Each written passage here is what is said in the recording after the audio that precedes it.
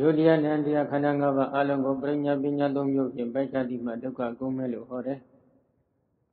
အထကထဆရာတော်များကလည်းယုတ်တရားတက်တဲ့ရှုနည်းုံနဲ့လည်းမညာမဆိုင်နိုင်ဘူးနန္တရားတက်တဲ့ရှုနည်းုံနဲ့လည်းမညာဘယ်လိုမှမဆိုင်နိုင်ဘူးယုတ်တရားကိုရှုရင်လည်းဘုရားဥပါဒယုတ်တွေကိုတလုံးစီတလုံးစီညာနဲ့ခွဲခြားစစ်ပြပြီးတော့လက္ခဏာရေးသုံးတန်တင်ပြီးဝိပဿနာရှုပါသုံးတတ်ပါနန္တရားတွေကိုရှုရင်လည်း ယုတ်တရားတွေကိုအာယုံယူပြီးဖြစ်ပေါ်နေတဲ့နာခန္ဓာ၄ပါးလုံးကိုလက္ခဏာတလုံးစီတလုံးစီညာနဲ့ခွဲခြားသိပြသိအောင်ပိုင်းခြားပြီးတဲ့အခါကျတော့မှလက္ခဏာရေးသုံးတန်တင်ပြီးဝိပဿနာရှုပါလို့ဒီလိုညွှန်ကြား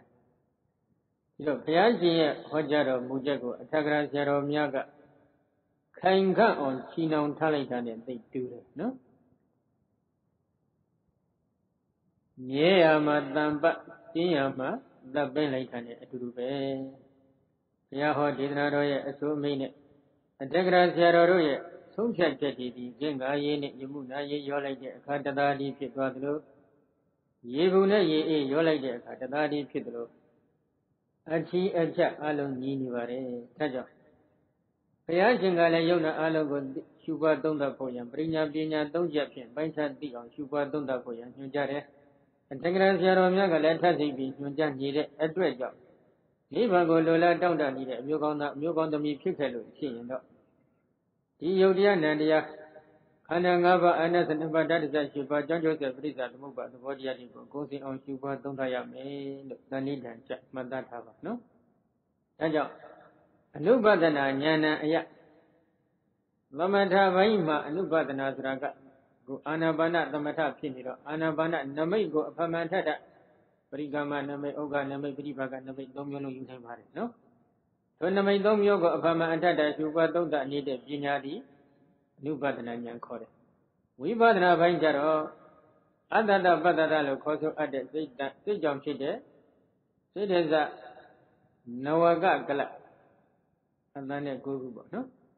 အဲ့ဒီကလတ်တည်းရဲ့ဒီကလတ်တည်းရဲ့မိယာဖြစ်တဲ့ဘုဒ္ဓယောဥပါဒယောခေါ်ဆိုအပ်တဲ့ကရဇကာယကရဇကာယဆိုတာတော့ကာစီဥဒ္ဓအာဟာရခေါ်တဲ့အကြောင်းတရား၄ပါးကြောင့်ဖြစ်နေတဲ့ဘုဒ္ဓယောဥပါဒယောအလုံးပဲအဲ့ဒီယုတ်တရားတွေရဲ့နောက်တစ်ခုစိတ်ကစိတ်တသံပြုတ်တာဓမ္မစိတ်နဲ့ရှင်တွဲနေတဲ့စိတ္တိတွေနန္တရားအဲ့ဒီယုံနာအလုံးကိုပိုင်းခြားမှတ်သားပြီးတော့အပမန္တတရှုပါသုံးသနေတဲ့ပညာသည်ဉာဏ်မီတယ် ဒီတော့တူတူပြောရင်တော့သမထဘိုင်းမှာအာနာပါနနမိတ်ကိုရှုပွားသုံးသပ်နေတဲ့ပညာကအနုပါဒနာဉာဏ်ဝိပဿနာဘိုင်းမှာယုံနာကြောင့်ကြောသင်္ခါရတရားတွေကိုလက္ခဏာရေးသုံးသပ်တည်ပြီးရှုပွားသုံးသပ်နေတဲ့ပညာကအနုပါဒနာဉာဏ်လို့ခေါ်ဆိုအပ်တယ်။ဘာဖြစ်လို့လဲယထာဘုဒ္ဓဝဘောဓတော်ယုံနာတဘာဝတွေကိုဟုတ်တိုင်းမှသာထွေးထွင်းသိနေတဲ့ဉာဏ်ပညာဖြစ်နေတဲ့အတွက်ကြောင့် သူ့ကိုအနုပါဒနာဉာဏ်လို့ခေါ်တယ်။ကဲအနုပါဒနာဉာဏ်နဲ့အရပြောပြီးတော့နောက်တစ်ဆင့်ကဘာကြံလဲ။ပြန်ပြီးနည်းနည်းလေးဆက်ဆက်ပြီးတော့စကားဆက်လိုက်မှအဓိပ္ပာယ်ပေါက်မယ်ထင်တယ်နော်။ဣမေဟိနဝဟိအာကာရေဟိဒီကံအတ္တတပတ္တတကာယောဥပါဌာဏံတတိအနုပါဒနာဉာဏံကာယောဥပါဌာဏနောတတိတတိဥပါဌာနိစေဝတတိသ ကာယတတိယတိနာညာနေနာတံကာယအနုပတ္တိတေနာဟုသတိကာယေကာယအနုပဒနာသတိပဋ္ဌာနာဘာဝနာတိအခြေအကြောင်းဟိုဒီနေ့ကပြောခဲ့နော်ကိုမျိုးဣမေဟိနဝဟိအာကာရိဟိဤကိုမျိုးကုန်သောအထင်အားတို့ဖြင့်ဣမေဟိနဝဟိအာကာရိဟိဤသောခဲ့ပြီးသောကိုယ်ပါကုန်သောအထင်အားအပြားတို့ဖြင့်ဘုဒ္ဓဖြစ်ပေါ်၍နေကြကုန်သောဤကံအတ္တတာပတ္တတာရှိသောအထင်အရာရှိကြကုန်သောဝင်လေထွက်လေတို့သည် ကာယောကာယမိဤတတိတတိတိဥပါဌာဏထိုကာယဟုခေါ်ဆိုအပ်တဲ့အာယုံသောက၍ဒီနေတရကဥပါဌာဏမိဤအနုပါဒနာအဖန်တလဲလဲရှုတတ်သောပညာသည်ဉာဏ်နဲ့ဉာဏ်မိဤဒီတိပြီးသွားပြီနော်ရှစ်တစ်ဆင့်ပါလာတယ်ကာယောအာယုံဖြစ်သောကာယသည်ဥပါဌာဏတတိက၍တရားဖြစ်သောကြောင့်ဥပါဌာဏမိဤတတိတတိမြည်သည်နောဟောတိမဖြစ် တတိတတိဒီကဥပါဌာနိစေဝကဲ့၍တရားအမြုံဖြစ်သောကြောင့်ဥပါဌာနာလိမိ၏တတိသတတိလိမိ၏တတိသကဲ့၍ဥပါဌာနိစေဝကဲ့၍တိတာသောကြောင့်ဥပါဌာနာလိမိ၏တတိသတတိလိမိ၏ဒီတော့ဦးဇင်းတို့ဒီဘက်မှာကာယကာယအရာကိုဘာကာယယူရမလဲခုနကရှင်းပြတဲ့စကားထောက်လိုက်ရင်နားလည်လိမ့်မယ်နော်ကာယမှာ ရူပကာယနာမကာယကာယဘယ်နှမျိုးရှိလဲနှမျိုးရူပကာယဆိုတာကယုတ်တရားအပေါင်းနာမကာယဆိုတာကနန္တရားအပေါင်းဒီတော့ယုတ်တရားတက်တဲ့ရှုနေုံနဲ့လည်းမညာဘယ်လိုမှမဆိုင်နိုင်ဘူးနန္တရားတက်တဲ့ရှုပါသုံးကနေုံနဲ့လည်းမညာကဘယ်လိုမှမဆိုင်နိုင်တဲ့အတွက်ရူပကာယနာမကာယနှစ်ခုလုံးကိုတော့ရှုရတော့မှာဖြစ်တယ်နော်ဒါကြောင့်ဒီကဆရာတော်ကဒီနေရာမှာဗာရှင်းထားတယ် ကာယောဥပါဌာနံတိဝိတောတိမေမဟာဒီကပထမအတွက်ဇံမျက်နှာ320မှာရှင်းထားပါတယ်နော်ကာယောဥပါဌာနံတိသောကာယောအာရမဏကရဏဝတိနာဥပကန္တဝတတိဣဋ္ဌတိတိတိဥပဌာနနာမဣဋ္ဌဇာကာယောဥပဌာနံတိဣမိနာဣတရကာယတာပိသင်္ကောဟောတိယထာဟုတ်တာသမတနာဇာရတပိဣဒအိစီတတတော်တော်လေးပြည့်ပြည့်စုံစုံရှင်းထားတယ်နော်ဘာပြောလဲ ကာယောဥပဌာနံတိကာယောဥပဌာနဟူဒီကသောကာယောထိုကာယတိအာရမဏကရဏဝတိနအာယုံပြုသည်ဤအစွမ်းဖြင့်ဥပကန္ထဝါကရောက်ကြည်၍ဣဋ္ဌဤကာယ၌တတိတတိတိတိဋ္ဌတိကြည်၍နေတတ်၏ဣတိတသောမထိုကြောင့်ဥပဌာဏနာမဥပဌာဏမိကာယတိဥပဌာဏမိတယ်ဘာဖြစ်လို့လဲတတိရဲ့ကပ်၍အာယုံတတိကအာယုံပြုတဲ့အနေအဖြစ် ကပ်ပြီးတရားဖြစ်သောကြောင့်ဥပဌာဏမိတယ်တတိရဲ့တရားဖြစ်လို့ဘာဖြစ်လို့တတိကဒီလိုက်လို့မေးတော့ဒီအာယုံကိုတတိကသွားပြီးရှုပွားသုံးတတ်နေနော်အဲ့တော့အဲ့ဒီကာယမှာဣဋ္ဌာဇာကာယဥပဌာဏံတိဣဋ္ဌာဇာဤယာ၌ကကာယဥပဌာဏံတိဣမိနာကာယဥပဌာဏံဟုသောဤစကားရဖြင့်ဣဒရကာယတပိရူပကာယမှတပါသောနာမကာယကိုလည်းပဲ သင်္ကဟောပေါင်းချုံရစ်တဲ့ခြင်းသည်ဟောဒီဖြစ်၏ရူပကာယတခုတည်းကိုမယူပါနဲ့နာမကာယကိုပါပေါင်းကျုံပြီးတော့သိညိုရစ်တက်ပြီးယူပါဘာဖြစ်လို့လဲယထာဟုတ်တသမတနာသာရတပိဣဒအိသိတတယထာဟုတ်တသမတနာသာရတပိအကျင်ဖွင့်ဆိုအခက်ပြီးတဲ့သမတနာသာရအာလိဣဒဤနေရာ၌အိသိတတလိုအပ်သည့်အဖြစ်ကြောင့်ဒီဖွင့်ဆိုအပ်ပြီးတဲ့ သမတနာဇာရကိုဒီနေရာမှာလိုအပ်တဲ့အတွက်ကြောင့်ဖြစ်ပါတယ်ဖွင့်ဆိုအပ်ပြီးတဲ့ဆိုတာကအပေါ်မှာစာ၃လေးကြောင်းလောက်မှသူကဖွင့်ထားပါတယ်နော်။ဘာလဲဝိပဒနာဝသေနအတ္တတပတ္တတအတ္တတပတ္တတိတန္တိတိသကာယရူပန္တိစိတ်တန်တန်သံယုတ်တဓမေသအရူပန္တိဝဟုထပိတဝါဆိုပြီးဒီလိုသူကဖွင့်ထားတယ်။ဒါကြောင့်အတ္တတပတ္တတကာယရဲ့အတ္တတပတ္တတကာယရဲ့မိယာဖြစ်တဲ့ ကံစိဥတုအာဟာရခေါ်တဲ့အကြောင်းပြလေးပါးကြောင့်ဖြစ်ပေါ်နေတဲ့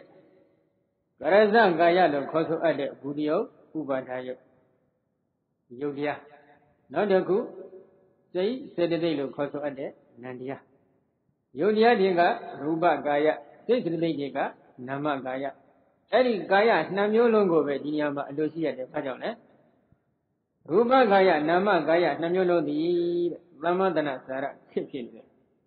သမန္တနာစာရဆိုတာကအနိစ္စဒုက္ခအနတ္တလက္ခဏာရဲ့သုံးတန်တင်ပြီးရှုပွားသုံးတန်နေတဲ့ဝိပဿနာဉာဏ်ရဲ့ကျက်စားရနယ်မြေကိုသမန္တနာစာရခေလို့ခေါ်ပါတယ်နော်အဲ့ဒီသမန္တနာစာရခေကိုဒီနေရာမှာအလိုရှိရလို့ဘာဖြစ်လို့ဘာဖြစ်လို့ဒီနေရာမှာအလိုရှိနေရလဲယုတ်တဲ့ရှိုံနဲ့လည်းမညာကဘယ်လိုမှမဆိုင်ဘူး နန္တတဲ့ရှုနေုံနဲ့လည်းမညာကဘယ်လိုမှမဆိုင်နိုင်တဲ့အတွက်ယုံနာနှမျိုးလုံးကရှုရမှာဒါကြောင့်လိုအပ်နော်အဲ့ဒီလိုလိုအပ်နေတဲ့အတွက်ကြောင့်ဒီနေရာမှာကာယအယဘာကာယယူရမလဲရူပကာယနာမကာယနှမျိုးလုံးကိုယူပါဒါကြောင့်အဲ့ဒီအဓိပ္ပာယ်အဖွင့်ရအနဲ့ပြန်ပေးမယ်ဆိုရင်နော်ကာယောအာယုံဖြစ်သောရူပကာယနာမကာယတိဥပဋ္ဌာဏတတိဤကရွေတရားဖြစ်သောကြောင့်ဥပဋ္ဌာဏမြည်၏ဟောဒါပြည့်ပြည့်စုံစုံ ရူပကာယတခုတည်းဟုတ်သေးလားမဟုတ်တော့ကာယောအာယုံဖြစ်သောရူပကာယနာမကာယတိဥပဋ္ဌာဏတတိဤကရွေတရားဖြစ်သောကြောင့်ဥပဋ္ဌာဏမြည်၏တတိတတိမြည်သည်နောဟောတိမဖြစ်အရှုခံဖြစ်တဲ့ရူပကာယနာမကာယကတတိယကပ်၍တရားဖြစ်သောကြောင့်ဥပဌာဏတော့မြည်တယ်ဒါပေမဲ့တတိမမြည်ဘူးဟုတ်မလားတတိတတိဒီကဥပဌာဏိစေဝ ကပ်၍ဒီတန်သောကြောင့်ဥပဌာဏလိမြည်ဤတတိသာတတိလိမြည်ဤကပ်၍တည်တတ်တဲ့အတွက်တတိလည်းမြည်တယ်သုံးဖို့ကပ်၍တည်ရလည်းသူကဖြစ်ပါတယ်တတိဒီအရှုခံအာယုံလည်းမှန်တယ်ရှုတတ်တဲ့တရားလည်းမှန်တယ်သူကအရှုခံအာယုံဆိုတာကအရှုခံယုတ်နာဓမ္မသင်္ခါရတရားတွေမှာတတိလည်းပါနေတယ်နော်ရှုတတ်တဲ့ဉာဏ်ဘက်ကြည့်လိုက်ရင်လည်းဒီတတိကပါတယ်အဲ့တော့ဒီစကားရက်ကလေးကတော့အဘိဓမ္မာကိုသင်ဖို့တဲ့ပုဂ္ဂိုလ်သုံးဖို့တကယ်လက်တွေ့ဒီဌာနမှာပေါ့လေ ချောင်းမြောင်စင်းစင်းနဲ့တရားရှုပွားနေတဲ့ပုဂ္ဂိုလ်များဆိုရင်တော့နားလည်လိမ့်မယ်ထင်တယ်ချောင်းမြောင်စင်းစင်းလို့ပြောရတဲ့ကဒီနေ့ရန်ကုန်ကဒကမာကြီးတအုပ်ရောက်လာတယ်သူတို့ကတရားဆွေးနွေးတယ်ဆွေးနွေးတော့သူတို့ရဲ့ပင်ကိုခံယူချက်ကလေးမှာကဒီဌာနမှာအထုတ်နေတဲ့ယောဂီကြတော်ခမည်းများကအဘိဓမ္မာမှာလာတဲ့အတန်စိတ်စိတ်ယုတ်ကြားတွေဝိသိစိတ်အစဉ်တည်းရှုလို့ရတယ်ဆိုတာဟာတာကြက်ပြီးတော့ပြောနေကြတာလိန်နေကြတာနဲ့တူတယ်လို့သူတို့ကဒီလိုခံယူချက်ရှိပုံရတယ်သူတို့ရဲ့စကားသံလေးနည်းနည်းအကဲခတ်ကြည့်ရ ဒီတော့သူတို့ကဗာမေးလေအဘိဓမ္မာတွေကိုကြည်အောင်သင်ထားတယ်ကြကြနနကျွမ်းကျွမ်းကျင်ကျင်သင်ထားလို့ရှိရင်ဒီတရားတွေကိုသူသိပြီလို့ပြောရင်မဖြစ်ဘူးလားတဲ့ဒီမေကွန်းတစ်ခုမေးတယ်မေးတဲ့အခါကျတော့ဥစဉ်ဘက်ကလည်းတရားဆိုတာကတော့ဘယ်နေရာမှမဆိုလိမ်မယ်ဆိုလို့ရှိရင်လိမ်တဲ့လူအတွက်ကတော့လိမ်လို့ရပါတယ်သို့တော့ဒီလိုဌာနထဲမှာဒီလိုတောတဲ့တောင်နဲ့လာပြီးတော့ တက်တက်လို့စပြီးအစင်းရခံပြီးတော့ဘုန်းကြီးရှိလာလိန်နေပဲအစားသူ့မှာဘာကျိုးရှိမလဲဘုရားကတော့ဒီလိုမျိုးသူကဒီလိုအကျိုးရှိလို့မေးတာမဟုတ်ပါဘူးလိန်ရင်ရကြတော့မရလားသိကျင်လို့မေးတာပါဟောအေးသူ့ရဲ့ပြောပြချက်ကလေးတွေကိုနားထောင်ကြည့်လိုက်မယ်ဆိုလို့ရှိရင်တော့ဒီပုဂ္ဂိုလ်ဒီလိန်နေမလိမ်ဘူးဆိုတာတော့ဘုန်းကြီးဘက်ကအကက်ခတ်လို့ရတဲ့နည်းတွေအများကြီးရှိပါတယ်တို့တော့တခုတော့ရှိတယ်သူကနည်းနည်းလေးလိမ်မပတ်တတ်တဲ့လိမ်နေတဲ့ပုဂ္ဂိုလ်ဖြစ်ခဲ့ရင်တော့ယောဂီဟောင်းတွေကိုပူးတွဲကပ်ပြီးမေးလိုက် မေးပြီးတဲ့အခါမှာဒီနေရာမှာဘယ်လိုမြင်တယ်ဘယ်လိုမြင်တယ်လို့လာပြီးပုံတူရိုက်ပြီးတော့ဘုန်းကြီးလာကြောက်နေအဲ့ဒါဘုန်းကြီးဘာမှမတတ်နိုင်ဘူးလို့ဒီလောက်တော့ပြောလိုက်ဟုတ်တယ်မလားဒါကြောင့်ဒီနေရာမှာဆိုလိုရင်းကတော့တတိဒီအရှုကအာယုံနန္တရားယုတ်တရားနန္တရားတွေမှာလည်းပါတယ်နမကရတွေမှာရှုတတ်တဲ့ဉာဏ်နဲ့ဥဆောင်နေတဲ့စိတ်စိတ်34လုံးနဲ့မှလည်းသူပါနော်မနောရှုတတ်တဲ့ဝိပဿနာဉာဏ်ကမနောဒရဝဇ္ဇမနောဒရိကဇောဝတိစိတ်အစဉ်လေးနဲ့ဖြစ်တော့မနောဒရဝဇ္ဇမှာစိတ်စိတ်ကစနေလုံး ဇောမှာစိတ်စိတ်ရေပုံရအဖြစ်နဲ့34လုံးဆိုကြပါစို့ပီတိမပိုင်နဲ့33ပေါ့အဲ့ဒီရှုတတ်တဲ့ဉာဏ်ဘက်မှာလည်းသူကပါတယ်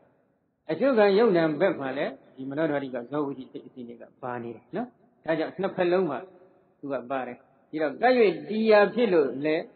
တတိမြည်တယ်ကပ်၍တည်တတ်လို့လည်းတတိမြည်တယ်အာယုံကိုအဖမအထက်တအောက်မိတတ်လို့လည်းသူကတတိခေါ်တယ်နော်ဒါကြောင့်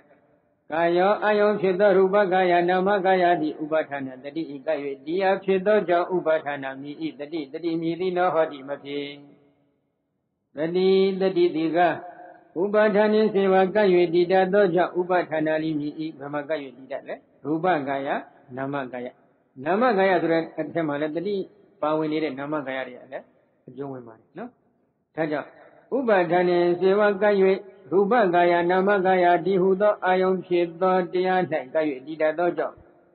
ဥပါဒနာလိမိဤတတိသတတိလိမိဤဒါယတတိယထိုတတိဖြင့်တေနညာနေနထိုညာဖြင့်တံကာယံထိုအတ္တတပတ္တတကာယဟုခေါ်ဆိုအပ်တဲ့ယုတ်တရားထိုအတ္တတပတ္တတဤမိယာဘူတိယဥပါဒယဟုခေါ်ဆိုအပ်တဲ့သတုဇယုတ်တရားထိုယုတ်တရားကိုအာယုံပြု၍ဖြစ်ပေါ်နေသော နာမကာယကိုဒီတော့အတ္တတပတ္တတကာယကအတ္တတပတ္တတကရူပကာယအတ္တတပတ္တတရဲ့မိယာဖြစ်တဲ့ကံစီဥဒ္ဓအာဟာရခေါ်တဲ့အကြောင်းတရား၄ပါးကြောင့်သင်ရှားဖြစ်ပေါ်နေတဲ့ဒီကုလုံးမှာခြုံချုပ်လိုက်လို့ရတဲ့ယုတ်ဒီကရူပကာယနော်ဒါကြောင့်တံကာယထိုဝင်လေထွက်လေဟုခေါ်ဆိုအပ်တဲ့အတ္တတပတ္တတကာယထိုဝင်လေထွက်လေဤမိယာဖြစ်သော စတုဇရူပကာယထိုရူပကာယကိုအာယုံပြု၍ဖြစ်ပေါ်နေသောနာမကာယကိုအနုပတတိအဖန်တလဲလဲရှုတတ်၏ဒီနအနုပတတိနာထိုသောအဖန်တလဲလဲရှုတတ်သောကြောင့်ကာယေကာယ၌ဝရူပကာယနာမကာယ၌အယံဘာဝနာဤဘာဝနာကိုကာယ ानु ပါဒနာတတိပဌာနာဘာဝနာတိကာယ ानु ပါဒနာတတိပဌာနာဘာဝနာဟူ၍ဥစ္စတိခေါ်ဆိုအပ်ပေ၏ဟောအတိအကျရှင်းထားပါနော် ဒီတော့ကာယ ानु ပါဒနာတတိပဌာနီဒီလိုဆိုရင်ယုတ်တရားလေးတက်တဲ့ရှုနေတဲ့တတိပဌာန်မျိုးဟုတ်သလားမဟုတ်ဘူးဒါကတော့သဘောပေါက်ဖို့လိုတယ်ဦးဇင်းတို့ဒီတတိပဌာန်ကျင့်စဉ်ကိုကျင့်တော်မယ်ဆိုရင်ဒီတတိပဌာန်ဒီဘာကိုခေါ်ဆိုရဲဆိုတာကိုကျင့်ကြတဲ့နဲ့နားမလည်ရင်တော့ယောဂီအတွက်တော့ဥစဉ်ကတော့အကျိုးတွေတော်ခမ်းများများတော့ဆွေးရုပ်လိမ့်မယ်လမ်းနေလည်းတော်များများလွဲသွားနိုင်တယ်လို့ဥစဉ်ကသဘောပေါက်တယ်နော်ဒါကြောင့်ဒီနေရာမှာတတိပဒံဒေသနာတော်မှာဘုရားရှင်ဒီအာနာပါနကိုအစချီပြီးတော့ဟောနေပါတယ် တတိပဒံကျင့်စဉ်ထဲမှာအာနာပါနကိုအစချီပြီးဟောနေတဲ့အတွက်ကြောင့်ဒီတတိပဒံကျင့်စဉ်ရဲ့အစဆုံးဖြစ်တဲ့ဒီအာနာပါနကိုမြတ်စွာဘုရားကဘယ်လိုဥတည်ချက်ဖြင့်ဝိပဿနာဘာဝနာကမ္မထစီပြရညွှန်ကြားနေတယ်ဆိုတာကိုအသေးစိတ်ရှင်းဖို့ဥစဉ်ကရည်ရွယ်ပြီးတော့ဒီအာနာပါနတတိသုတ်တံကိုဟောနေခြင်းဖြစ်တယ်နော်ဒါကြောင့်ဒီရှင်းလင်းချက်ကလေးကပဋိသမီရာမဲ့ပါဠိတော်စာမျက်နှာ185မှာလာတဲ့ရှင်းလင်းချက်ဖြစ်ပါတယ် အာနာပါနအကြောင်းနဲ့ပတ်သက်ပြီးတော်တော်လေးပြည့်ပြည့်စုံစုံဒီတိပ္ပဏဟိုပဋိသမီရာမဲ့ပါဠိတော်မှာရှင်းလင်းထားပါတယ်နော်အဲ့ဒီရှင်းလင်းထားတဲ့အထက်က။ဒါမဲ့နဲ့195မှာလာရှိတဲ့အဆိုအမိန့်ကိုဝိသုဒ္ဓိမဲ့အထက်ကရာဆရာတော်ကမိမိရဝိသုဒ္ဓိမဲ့အထက်ကရာကျမ်းမထမတွဲစာမျက်နှာ264မှာကြည်သွင်းပြီးတော့သူကကိုယ်ကဖော်ပြပြီးထပ်မံပြီးရှင်းလင်းတင်ပြနေခြင်းဖြစ်ပါတယ်။ကဲဒီတော့ခု အရှိမရှုခွက်ကဘယ်နှခုရှိသွားလဲ9ခုနော်အရှိမ9မျိုးကနည်းနည်းလေးနာဘုထမအနေနဲ့ထပ်ပြောလို့ရှိရင်ရိုးရိုးအတ္တတပတ္တတဝင်လေထွက်လေကိုရှုနေတာကတစ်ခုရိုးရိုးဝင်လေကိုရှုတာကတစ်ခုထွက်လေကိုရှုတာကတစ်ခု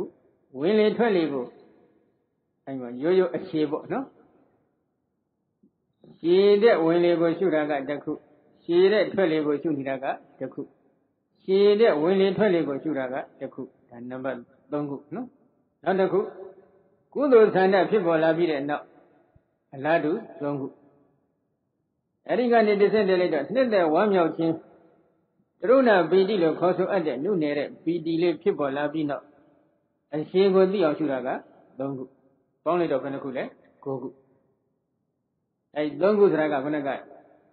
ရှည်တဲ့ဝင်လေရှည်တဲ့ထွက်လေ ရှည်တဲ့ဝင်လေထွက်လေဒီ3ခုကိုပြောတာပါနော်အဲဒီတော့ဒီတဲ့ကန်းက3ခုဆန္ဒဖြစ်ပြီးနောက်ကုသိုလ်ဆန္ဒဖြစ်ပြီးနောက်အရှင်ကိုသိလို့တဲ့ကုသိုလ်ဆန္ဒလေးဖြစ်ပေါ်ပြီးနောက်ရှိတဲ့ဝင်လေကိုရှုတာကတစ်ခုရှိတဲ့ထွက်လေကိုရှုတာကတစ်ခုရှိတဲ့ဝင်လေထွက်လေကိုရှုတာကတစ်ခုသုံးခုအဲဒီလိုရှုတာကနေပြီးတော့လူနယ်နေသေးတဲ့တရုဏပီတိလို့ခေါ်ဆိုအပ်တဲ့နှစ်တဲ့ဝမ်းမြောက်မှုပမောဇ္ဇတရားဖြစ်ပေါ်လာပြီးနောက်ရှိတဲ့ဝင်လေကိုသိအောင်ရှုတာကတစ်ခုရှိတဲ့ထွက်လေကိုသိအောင်ရှုတာကတစ်ခု ရှိတဲ့ဝင်လေထွက်လေကိုသိအောင်ရှုတာကတစ်ခုပေါင်းလိုက်တော့အရှိမဘယ်နှမျိုးသိရမလဲ၉မျိုးအလားတူပဲအတူမှလည်း၉မျိုးပေါ့အလတ်တို့ဆိုတာကိုသဘောမပေါက်တဲ့ပုဂ္ဂိုလ်ရဲ့အတွက်နည်းနည်းထပ်တော့ပြောနော်ရိုးရိုးပေါ့ဒိုတဲ့ဝင်လေကိုသိအောင်ရှုတာကတခုဒိုတဲ့ထွက်လေကိုသိအောင်ရှုတာကတခုဒိုတဲ့ဝင်လေထွက်လေကိုသိအောင်ရှုတာကတခုသုံးခုဒိုတဲ့ဝင်လေကိုသိလို့တဲ့ကုသိုလ်ဆန္ဒလေးဖြစ်ပေါ်ပြီးနောက်အလွတ်အလွန် သိဝင်နုညံ့တဲ့ဒိုတဲ့ဝင်လေကိုသိအောင်ရှုတာကတခုဒိုတဲ့ဒိုတဲ့ထွက်လေကိုသိအောင်ရှုတာကတခုဒိုတဲ့ထွက်လေဝင်လေကိုသိအောင်ရှုတာကတခု6ခုနော်နောက်တစ်ခုလူနေတဲ့ကရုဏာပီတိခေါ်တဲ့ပီတိလေးဖြစ်ပေါ်ပြီးနောက်လက်လက်ဝမ်းမြောက်ခြင်းပီတိပမောဇ္ဇဖြစ်ပေါ်ပြီးနောက်ဒိုးတဲ့ဝင်လေကိုသိအောင်ရှုတာကတစ်ခုဒိုးတဲ့ထွက်လေကိုသိအောင်ရှုတာကတစ်ခုဒိုးတဲ့ဝင်လေထွက်လေကိုသိအောင်ရှုတာကတစ်ခုပေါင်းလိုက်တော့9ခုနော် အဲ့ဒီ9မျိုးသောအချင်းအာအချင်းအာတို့ဖြင့်ဒီဝင်လေထွက်လေကိုရှုရအဲ့ဒီလိုရှုလိုက်တဲ့အချိန်ခါကျတော့အဲ့ဒီလိုသိခဲ့မယ်ဆိုရင်ဘာဖြစ်မလဲဧဝံအယံအတ္တနဝတေနဣတိရဝတေနသဣမေဟာကာရေဟိအတ္တတပတ္တတေပါဇနံတောဤကဝအတ္တတံတောဒီကအတ္တတမိတိပါဇနာတိရတံဝအတ္တတံတောရတံဝပတ္တတံတောရတံပတ္တတမိတိပါဇနာတိတိဝိရိတဘော ဒီလိုဝိတ္တိမဲ့တက္ကရာဒုတိယအတွက်ဇာမျက်နှာ260ပထမအတွက်ဇာမျက်နှာ265မှာရှင်းထားနော်အဋ္ဌာနဝတိနာအဲ့ဒီအဋ္ဌာဏဝန္ဒေနဆိုတဲ့စကားလုံးကိုနော်ဝိသောတိမေမဟာဒီကဆရာတော်ကဝိသောတိမေမဟာဒီကပထမအတွဲသမင်နာ318မှာအဋ္ဌာဏဝန္ဒေနာတိကာလဒါနဝတေနာဒီလိုဖွင့်ထားတယ်အဋ္ဌာဏဆိုတာကဘာလဲရှည်အဒွတ်အဒွတ်ဆိုတာကဘာအဒွတ်လဲလို့မေးရင်ကာလဒါန ကာလဒါနအချိန်ကာလအဒွတ်အတိုင်းအတာအဖြစ်ဒီနေရာမှာရှည်တာတိုးတာကိုဆိုလိုတယ်လို့မှတ်ပါနမိတ်ကြောင်းရှည်တာတူတာဟုတ်လားမဟုတ်ဘူးနော်ဒါကိုတော့မှတ်ထားဝါယောလေတပရမတရားရှည်တာတူတာလည်းဟုတ်လားမဟုတ်ဘူးအချိန်ခက်ကြကြဖြစ်တာကိုရှည်တယ်အချိန်ချခက်ကြကြဖြစ်နေတဲ့ဝင်လေထွက်လေကိုရှည်တယ်အချိန်ခတ်တော်တော်ဖြစ်တဲ့ဝင်လေထွက်လေကိုတိုးတယ် ဒီလိုသုံးနှုံးထားတယ်နော်လေဆိုတဲ့ပြညာ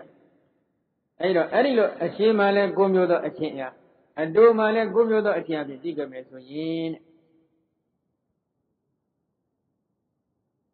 ရှိစွာသောဝင်လေကိုဖြစ်စေရင်လည်းရှိစွာသောဝင်လေကိုဖြစ်စေတယ်လို့ဘုရားပြောပြတည်တည်မြည်တယ်ရှိစွာသောထွက်လေကိုဖြစ်စေရင်လည်းရှိစွာသောထွက်လေကိုဖြစ်စေတယ်လို့ကောကောပြပြတည်တည်မြည်တယ် ဒိုးစွာသောဝင်လေကိုဖြစ်စေရင်လည်းဒိုးစွာသောဝင်လေကိုဖြစ်စေတယ်လို့ကောကောပြပြတည်တည်မြည်တယ်ဒိုးစွာသောထွက်လေကိုဖြစ်စေရင်လည်းဒိုးစွာသောထွက်လေကိုဖြစ်စေတယ်လို့ကွဲကွဲပြားပြားတည်တည်မြည်တယ်လို့ဒီလိုအထက်ကရာဆရာတော်ကအရှင်းထားပါတယ်နော်အဲကြောင့်ဒီနေရာမှာအထက်ကရာဆရာတော်ကဧဝံပသနတောသတ္တဒီကောရသောသအတ္တသောပတ္တသောသာပိတာတိသော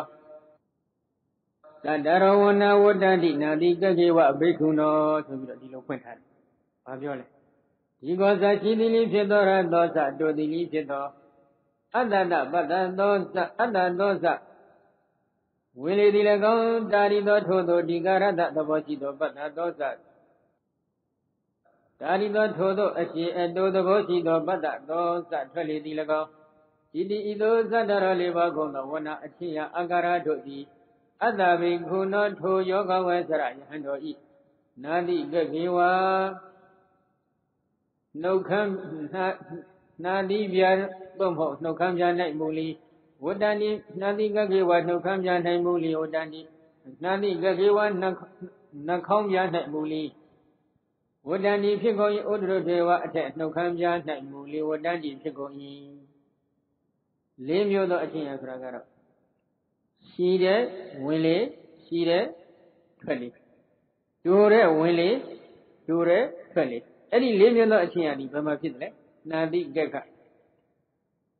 နှခေါင်းများသို့မဟုတ်ဥဒ္ဒရထခေါ်တဲ့အထက်နှုတ်ခမ်း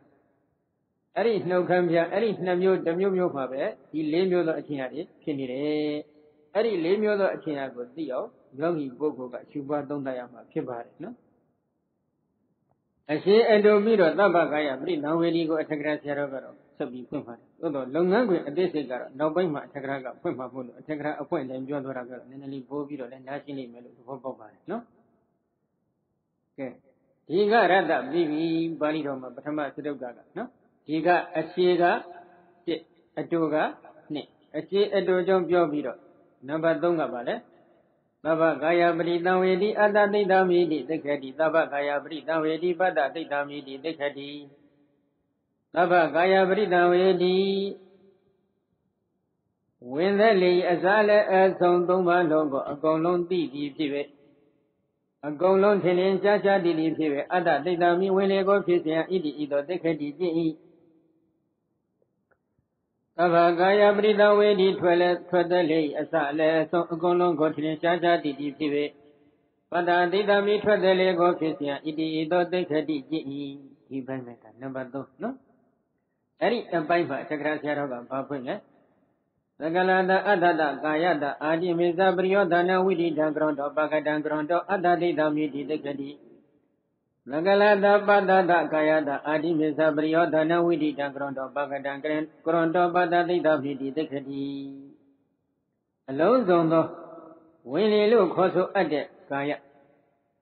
အဲ့ဒီကာယရဲ့အစအလယ်အဆုံးကိုထင်ထင်ရှားရှားသိလျက်ဝင်လေကိုဖြစ်အောင်ကျင့်မှာအလုံးစုံသောပတ္တတကာယလို့ခေါ်ဆိုအပ်တဲ့ထွက်လီကာယဤ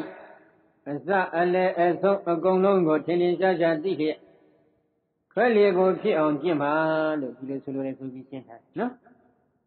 ကဲအဲ့ဒီလိုသိလိုက်တော့ဘာဖြစ်လဲဝိဟံဝိနိတံကရွန်တောဘာဂတံကရွန်တောညာနာတံမြုတ်တစိတ်တေနအတ္တတတိစေဝပတ္တတတိသာအဲ့ဒီလိုသိအောင်ကျင့်မယ်ဆိုရင်တော့ထင်ထင်ရှားရှားကြီးသိအောင်ကျင့်မယ်ဆိုရင်ညာနာတံမြုတ်စိတ်နဲ့အသက်ဝင်လေကိုရှုနေသည်မြည်တယ်ထွက်လေကိုရှုနေသည်မြ ညီတယ်ဆိုပြီးဒီလိုရှင်းထားတယ်။ပြီးတော့ဉာဏ်လေးရှင်ပြီးတော့အသက်ရှူရမယ်လို့ဆိုလိုပါတယ်နော်။အဲ့တော့ဉာဏ်နဲ့တံမြုပ်စိနဲ့အသက်ရှူပြီးရှူပြီးတော့တတ္တမအတ္တဒိဋ္ဌမိပတ္တဒိဋ္ဌမိဒီတက်ချတိဒီဥစ္စေတိဒါကြောင့်အတ္တဒိဋ္ဌမိဝင်လေကိုဖြစ်စေရန်ပတ္တဒိဋ္ဌမိထွက်လေကိုဖြစ်စေရန်ဣတိသောတက်ခတိကြည့်ကြည့်ဆိုပြီးတက်ခတိဓာလေးနဲ့ထည့်ပြီးပြန်ဟောနေတာ။ဟောနေတဲ့အပိုင်းလေးကဘာကိုဥတည်ကြတဲ့တို့မေးရင် အသက်ရှူတဲ့အပိုင်းမှာညံလေးနဲ့ရှင်ပြီးတော့ညံနဲ့တံပြုတ်စိတ်ကလေးနဲ့အသက်ရှူစမ်းမှရှူပြစ်အောင်ကျင့်စမ်းမှလို့သိစေခြင်းလို့မြတ်စွာဘုရားကဒီမှာတက္ကတိတရားလေးတစ်ခုတိုးပြီးတော့ခေါ်ထားတယ်ခုနကအစလည်းအဆုံးကိုသိလျက်ဝင်လေကိုဖြစ်စီရင်အစလည်းအဆုံးကိုသိလျက်ထွက်လေကိုဖြစ်စီရင်ဒီလောက်တည်းမဟုတ်ဘူးဖြစ်အောင်ကျင့်ပါဆိုပြီးသိက္ခတိခါလေးနဲ့ကျင့်ဖို့အထိမြတ်စွာဘုရားဆက်ဟောထားတယ်နော်ကဲနောက်တစ်ခုဒီမှာအထက်ကရကဘာရှင်းထားလဲ ဧကတဟိဘိက္ခုနောစုံနာဟုဝိစုံနာဝိတတေအတ္တတကာယေဘာတတကာယဝအာတိဘဂတောဟောတိနာသအနာမိစ္ဆပရိယောသနာသောအာတိမေဝပရိခေတုံတကောတိဘာပြောလဲအထက်ကရာဆရာတော်ကနော်ဤဒေသမယဧကတပိကုဏေတူသောယောဂဝဆရယဟန်တော်အားဇုံနာဝိဇုံနာဝိတတိ မြတ်စွာသောကလတ်တို့၏အပေါင်းအစုံဖြစ်ခြင်းကြောင့်မှုံမှုံညံ့ညက်မှုံမှုံညံ့ညက်၏အဖြစ်ဖြင့်ပြန့်နှံ့၍နေသောအတ္တတကာယဝဝင်သက်လေအပေါင်း၌၎င်းပတ္တတကာယဝထွက်သက်လေအပေါင်း၌၎င်းအာဒီအစာတိပကတောထင်ရှားသည်ဟောဒီဖြစ်မေဇပရိယောဒနာအလဲနှင့်အဆုံးသည်ပကတံထင်ရှားသည်နဟောဒီမဖြစ်ယောဂဝဆရယဟန်တော်တရားအုပ်ဖို့ပြောတယ်နော်ဒါပြည့်နဲ့ဒီစကားလေးမှာနည်းနည်းလေး အရေးကြီးတဲ့အချက်ကလေးတစ်ခုပါနေတယ်နော်သုံနာဝိသုံနာဝိတတိဒီအနေကကလပတာယသုံနာဝိသုံနာဘာဝေနာဝိတတိဒီလိုဒီမဲ့မဟာဒီကပထမတော့သမင်နာ321မှာဖွင့်ထားပါတယ်နော်ပြီးတော့အတ္တတပတ္တတကာယလို့ခေါ်ဆိုအပ်တဲ့ဝင်လေထွက်လေကိုကြည့်လိုက်လို့ရှိရင်သူကဘယ်လိုလဲအနေကကလာပတာယသုံနာဝိသုံနာဘာဝေနဝိတတိအနေကကလာပတာယများစွာသောယုတ်ကလတ်တွေရှိနေတဲ့အတွက်ကြောင့် များစွာသောယုတ်ကလတ်တို့ရဲ့အပေါင်းအစုဖြစ်နေတဲ့အတွက်ကြောင့်သုံနာဝိသုံနာမှုံမှုံကြက်ကြက်မှုံမှုံညံ့ညက်ကြည်နေတဲ့အမှုံလေးတွေပဲဆိုလိုတာကတော့ကလတ်ကလေးတွေပဲအမှုံလေးတွေပဲနော်အားလုံးကကလအမှုံလေးတွေပဲ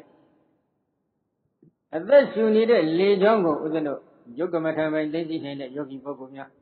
ဝင်လေထွက်လေကိုဖမ်းပြီးဒါလေးပါဆက်လိုက်ရင်အားလုံးအမှုံလေးတွေဆိုတာသဘောပေါက်တယ် အဲ့ဒီအမှုံလေးတွေကိုတမုံတမုံတက်ခွဲလိုက်ရင်ပထဝီအဘောတိသောဝါယောအစင်းအနအယတာဩဇာဆိုပြီးသဘောတရား၈ခုရှိတယ်တမုံမှန်ပါတဲ့ပထဝီနဲ့တမုံမှရှိနေတဲ့ပထဝီတို့ရိုက်ခတ်လိုက်တဲ့အခါမှာအတန်တစ်ခုပေါ်လာတယ်ပေါင်းလိုက်တော့ကိုခုအဲ့ဒီကိုမျိုးသောယုတ်ကလတို့ရဲ့အပေါင်းအစုဖြစ်နေတယ်အဲ့ဒီအပေါင်းအစုဒီဘယ်လောက်များလဲကလတ်တွေကမရေမတွက်နိုင်အောင်များပါတယ်နော်အဲ့ဒီအပေါင်းအစုဖြစ်နေတဲ့ ယုတ်ကလတ်တွေဖြစ်ပေမဲ့လို့တဲ့ဘာဖြစ်လဲ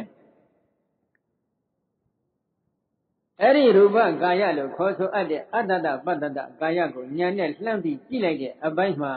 တချို့တချို့ယောဂီပုဂ္ဂိုလ်တွေကအစတော့သင်ရှားတယ်အလယ်နဲ့အဆုံးမထင်ရှားပြန်ဘူးတဲ့နော်နောက်တစ်ခုမထင်ရှားတော့ဘာဖြစ်လဲသောအာဒီမေဝပရိခေတုံတကောတိမစ္ဆပရိယောတာနေကိလမတိသောထုယောဂီဟန္တောတိအာဒီမေဝ ဝိလင်ထွက်လျက်အစကိုတန်လျင်ပရိခိတုံဉာဏ်ဖြင့်ပိုက်ချယူခြင်းဟာတကောတိစွန့်နိုင်၏မေဇပရိယောတာနေအလဲနဲ့အစုံ၌ကိလမတိပင်မ၍နေတတ်၏အစလေးပဲထင်ရှားတယ်ဆိုရင်ထိုယောဂီပုဂ္ဂိုလ်ကအလယ်နဲ့အဆုံးကိုညာနဲ့လှမ်းပြီးပိုက်ချယူဖို့ရအတွက်သူကမသွမ်းနိုင်ဖြစ်နေတယ်ပြင်မနေတယ်နော်ဧကတမစ္ဆပကတဟောတိနအာဒီပရိယောတနာတချို့ယောဂီကြတော့အလယ်ထင်ရှားတယ် အစနဲ့အဆုံးမထင်ရှားပြန်ဘူးဒါကဒုတိယတစ်မျိုးတချို့ကြတော့ဧကတပရိယောတနာပကတဟောတိနအာဒီမစ္ဆတချို့ကြတော့အဆုံးသွားထင်ရှားတယ်အစနဲ့အလယ်မထင်ရှားပြန်ဘူးနော်မထင်ရှားတဲ့အခါကျတော့ဘာဖြစ်လဲအလဲထင်ရှားတဲ့ပုဂ္ဂိုလ်ကလည်းအလဲပဲသိသိနိုင်တယ်အစနဲ့အဆုံးကိုမသိသိနိုင်ဘူးခုအဆုံးထင်ရှားတဲ့ပုဂ္ဂိုလ်ကြတော့လည်းဘာဖြစ်လဲ အဆုံးသာသိသိနိုင်တယ်အစနဲ့အလဲကိုမသိသိနိုင်ဘူးညာနဲ့ပိုင်းခြားယူလို့မရဖြစ်နေပြီမရဖြစ်နေတဲ့အတွက်ကြောင့်သူ့မှာမထင်ရှားတဲ့အပိုင်းကိုညာနဲ့လှမ်းပြီးပိုင်းခြားယူခဲ့ရင်သူ့မှာပင်မမှုပြင်းမှုဖြစ်နေတယ်နော်ဧတတတဧကတတပံပိပကတဟောတိပုဂ္ဂိုလ်တဥကြတော့အကုန်လုံးထင်ရှားအစလည်းထင်ရှားတယ်အလယ်လည်းထင်ရှားတယ်အဆုံးလည်းထင်ရှားနေတယ်ပြီးတော့ပုဂ္ဂိုလ်ဘယ်နှမျိုးဖြစ်သွားလဲ ၄မျိုးပေါ့လွယ်လွယ်လေးပြန်ပြောမယ်အစသာထင်ရှားတဲ့ပုဂ္ဂိုလ်၁အလယ်သာထင်ရှားတဲ့ပုဂ္ဂိုလ်၂အဆုံးသာထင်ရှားတဲ့ပုဂ္ဂိုလ်၃အစအလယ်အဆုံးအကုန်လုံးထင်ရှားတဲ့ပုဂ္ဂိုလ်၄ဟုတ်မလားပုဂ္ဂိုလ်ဘယ်နှမျိုးရှိမလဲ၄ဒါကြောင့်ဧကတသဗ္ဗမိပကတဟောတိသောတဗ္ဗမိပရိကေတုံတကောတိနကတစီကိလမတိ ဓာတိသေနဘုိတာပန္တိဓာတင်တောအာဟာတဗ္ဗခယပရိတံဝေတိအတ္တသိတ္တမိတိသိခတိသဗ္ဗသကာယပရိတံဝေတိပတ္တသိတ္တမိတိသိခတိပတ္တသိတ္တမိတိသိခတိတိဧကတအချို့သောပုဂ္ဂိုလ်အားသဗ္ဗံပိဝင်လေထွက်လေရဲ့အစအလဲအဆုံးဟုခေါ်ဆိုအပ်တဲ့အလုံးစုံသည်လည်းပဲပါကတထင်ရှား၍နေသည်ဟောဒီဖြစ်သောထိုထင်ရှား၍နေတဲ့ယောဂီဟန်တော်သည် သဗ္ဗံပိဝင်လေထွက်လေရဲ့အစလဲအဆုံးအကုန်လုံးကိုပဲလည်းပဲပရိငေတုံဉာဏ်ဖြင့်ပိုက်ချယူခြင်းဟာတက်ကောတိဆွမ်းနေ၏ကတ္ထစီအစအလဲအဆုံးဟုခေါ်ဆိုအပ်တဲ့သုံးတကူသောနေရာ၌နကိလမတိပိမံဆင်းရဲမှုမရှိပေဓာတိလေနထိုကဲ့သို့မပင်မမဆင်းရဲတဲ့ပုဂ္ဂိုလ်မျိုးသည်ဝိတဗံဖြစ်သည်ဖြစ်တိုက်လာပေ၏ဣတိဤသောတတ်တော်ညွှန်ကြားပြသတော်မူလိုသည်ဖြစ်ပေသဗ္ဗကာယပရိသဝေတိ အလုံးစုံသောဝိသလေဤအစလည်းအဆုံးကိုထင်ထင်ရှားရှားတည်တည်ဖြစ်ပေအတ္တတိတ်တာမြဝင်လေကိုဖြစ်စေဟာဣတိဤသောတက္ကတိဖြစ်၏သဗ္ဗကာယပရိသဝေတိအလုံးစုံသောထွက်တဲ့လေဤအစလည်းအဆုံးကိုထင်ထင်ရှားရှားတည်တည်ဖြစ်ပေပတ္တတိတာမိထွက်တဲ့ကိုဖြစ်စေဣတိသောတိခတိတိကျင့်ဤဟု၍ဣဒံဝဇနာဤတရားစကားတော်ကိုဘဂဝါမြတ်စွာဘုရားသည်အာဟဟောကြား၍ဤတော်မူခြင်းဖြစ်ပေ၏ဒီလိုရှင်းထား အစအလယ်အဆုံးအကုန်လုံးဝင်လေထွက်လေမှသိအောင်ဘုရားဟောနေတာဘာကြောင့်လဲဘုရားရှင်ကိုယ်တော်ရင်ကအစသာသိသိတတ်တဲ့ပုဂ္ဂိုလ်အလယ်သာသိသိတတ်တဲ့ပုဂ္ဂိုလ်အဆုံးသာသိသိတတ်တဲ့ပုဂ္ဂိုလ်မဖြစ်စေပဲအစအလယ်အဆုံးဝင်လေထွက်လေနှစ်ခုလုံးမှာအကုန်လုံးညာနဲ့ပိုင်းခြားယူနိုင်တဲ့ပုဂ္ဂိုလ်ဖြစ်အောင်ကျင့်ပါလို့မြတ်စွာဘုရားတိုင်တွန်းတော်မူလို့လို့ဒီစကားဟောထားတယ်။ဒါကဘယ်ပိုင်းရောက်တော့လဲ။စအထုဆပုဂ္ဂိုလ်အတွက်ပြောတာမဟုတ်ဘူးနော်။သမာဓိတော်တော်လေးရင့်လာတဲ့အပိုင်း ဒီဘိုင်းမှာမြတ်သောအဖြစ်ပေါ့လေဒီဌာနမှာဥစဉ်ပြကြည့်တယ်ယောဂီတွေကိုအရှင်အတူဘိုင်းမှာနမိတ်ပေါ်တဲ့ယောဂီတော့များပါတယ်ရက်ကလည်းကြာပြီစိတ်ကလည်းတော်တော်လေးငြိမ်နေလို့ယောဂီကတောင်းခံတယ်ဒါပေမဲ့နမိတ်ကြောင့်ကမခိုင်ခံဘူးတော့ပေါ်တော်လည်းမခိုင်ခံဘူးတော့မပေါ်ဖြစ်နေကြရင်တော့အစအလယ်အဆုံးသိအောင်ကြိုးစားဖို့တစ်ဆင့်တက်တိုက်တွန်းကအဲ့ဒီလိုတိုက်တွန်းလိုက်လို့ရှိရင်တိုက်တွန်းတဲ့အတိုင်းယောဂီပုဂ္ဂိုလ်ကလည်းဆက်လက်ကြိုးစားလို့ ဝင်လေထွက်လေတို့ရဲ့အစလည်းအဆုံးသုံးပါလုံးကိုသိသိနိုင်ပြီဆိုလို့ရှိရင်တော့ထိုယောဂီပုဂ္ဂိုလ်ရဲ့တန်တမှာဒီပိုင်းမှာနမိတ်ပေါ်တတ်ပါတယ်နော်ဒီနေရာမှာမြတ်စွာဘုရားကသိက္ခာ၃ပါးကိုပြလိုတယ်ဆိုပြီးတော့အထက်ကရာဆရာတော်ကတော့ရှင်းထားပါတယ်နော်ဒီတော့အဲ့ဒီအထက်ကရာဆရာတော်ရဲ့ရှင်းလင်းချက်ကလေးကိုမပြောမိဘူးဦးဇင်းတို့နည်းနည်းလေးကြားပြကာလလေးတစ်ခုကိုထပ်ပြောခြင်းပေါ့ ရုပ်ပိုင်းကိုသိသိတဲ့အပိုင်းမှာဒီဝင်လေထွက်လေမှာကလတ်တွေကိုမြင်အောင်ရှုရမလားမရှုရဘူးလားလို့မေးရင်ဘယ်နဲ့ဖြေပါလဲရှုရတော့ဒီအာနာပါနဆိုတာဘာလဲလို့မေးရင်များစွာသောမှုမှုညံ့ညက်ကျင်နေတဲ့များစွာသောယုတ်ကလတ်တွေရဲ့အပေါင်းအစုဖြစ်တယ်လို့အထက်ကရာကဖွင့်ထားပါတယ်နော်ဒီတော့ပရမတ်နယ်ကိုကုတော်မယ်ဆိုလို့ရှိရင်တော့ပရမတ်နယ်ဆိုင်ရင်အတွက်ဒီမှုမှုညံ့ညက်ကျင်နေတဲ့အမှုံလို့ခေါ်ဆိုအပ်တဲ့ကလတ်ကလေးတွေကိုမြင်ဖို့လိုလာပြီနော် သို့တော့ကလတ်ဒီပညာပဲရှိပါသေးတယ်သမုဟပညာစတဲ့မကွာသေးတဲ့ပညာပဲရှိပါသေးတယ်ထိုပညာကိုပရမတ်နယ်သို့ကုတော်အောင်ကလတ်တစ်ခုတစ်ခုမှာပထဝီအာဘောတိသောဝါယောစသည်ဖြင့်ဓာခွဲနှမ်းပြီးဆိုရင်ပရမတ်နဲ့ကူသွားပြီဒါကြောင့်ကျမ်းဂန်များမှာကလတ်တွေကိုရှုရမယ်လို့မပါပါဘူးဆိုတဲ့စကားဟာတော်တော်လေးဆန်းစစ်ရမယ်အပိုင်းတော့ဖြစ်ပြီတနည်းအားဖြင့်ပြောရင်တော့ကျမ်းဂန်များမှာ ကလတ်တွေကိုရှုရမယ်ဆိုတဲ့အပိုင်းပါသလားမပါဘူးလားလို့သိရင်ဘယ်နဲ့ဖြစ်လဲပါနေတယ်နော်ကျမ်းဂန်မှာသင်ရှားရှိတဲ့လုပ်ငန်းခွင်ဖြစ်ပါတယ်ကဲနောက်တစ်ခုအဲ့ဒီမှာသက္ခတိနဲ့ပတ်သက်ပြီးတော့သက္ခတိဆိုတာကသက္ခတိတိဧဝံကတတိဝါယမတိကျိုးစားအထုတ်တယ်ဆိုပြီးတော့တက္ကရာကတော့ရှင်းထားတယ်နော်နောက်တနည်းယောဝတထဗုဒ္ဓတသံဝရောအယမေတ္တအတိတိလာဒိဋ္ဌာ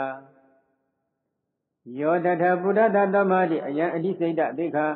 ယာတထဗုဒ္ဓသပညာအယံအတိပညာသိခာတိဣမတေတောသိခာယောတတမိအာရမဏိတယတတိယယေနမနတိကာရေနသိခတိအာတိဝေတိဘဝေတိပုလိကရောတိတိဧဝမေတ္ထအထောတတဘော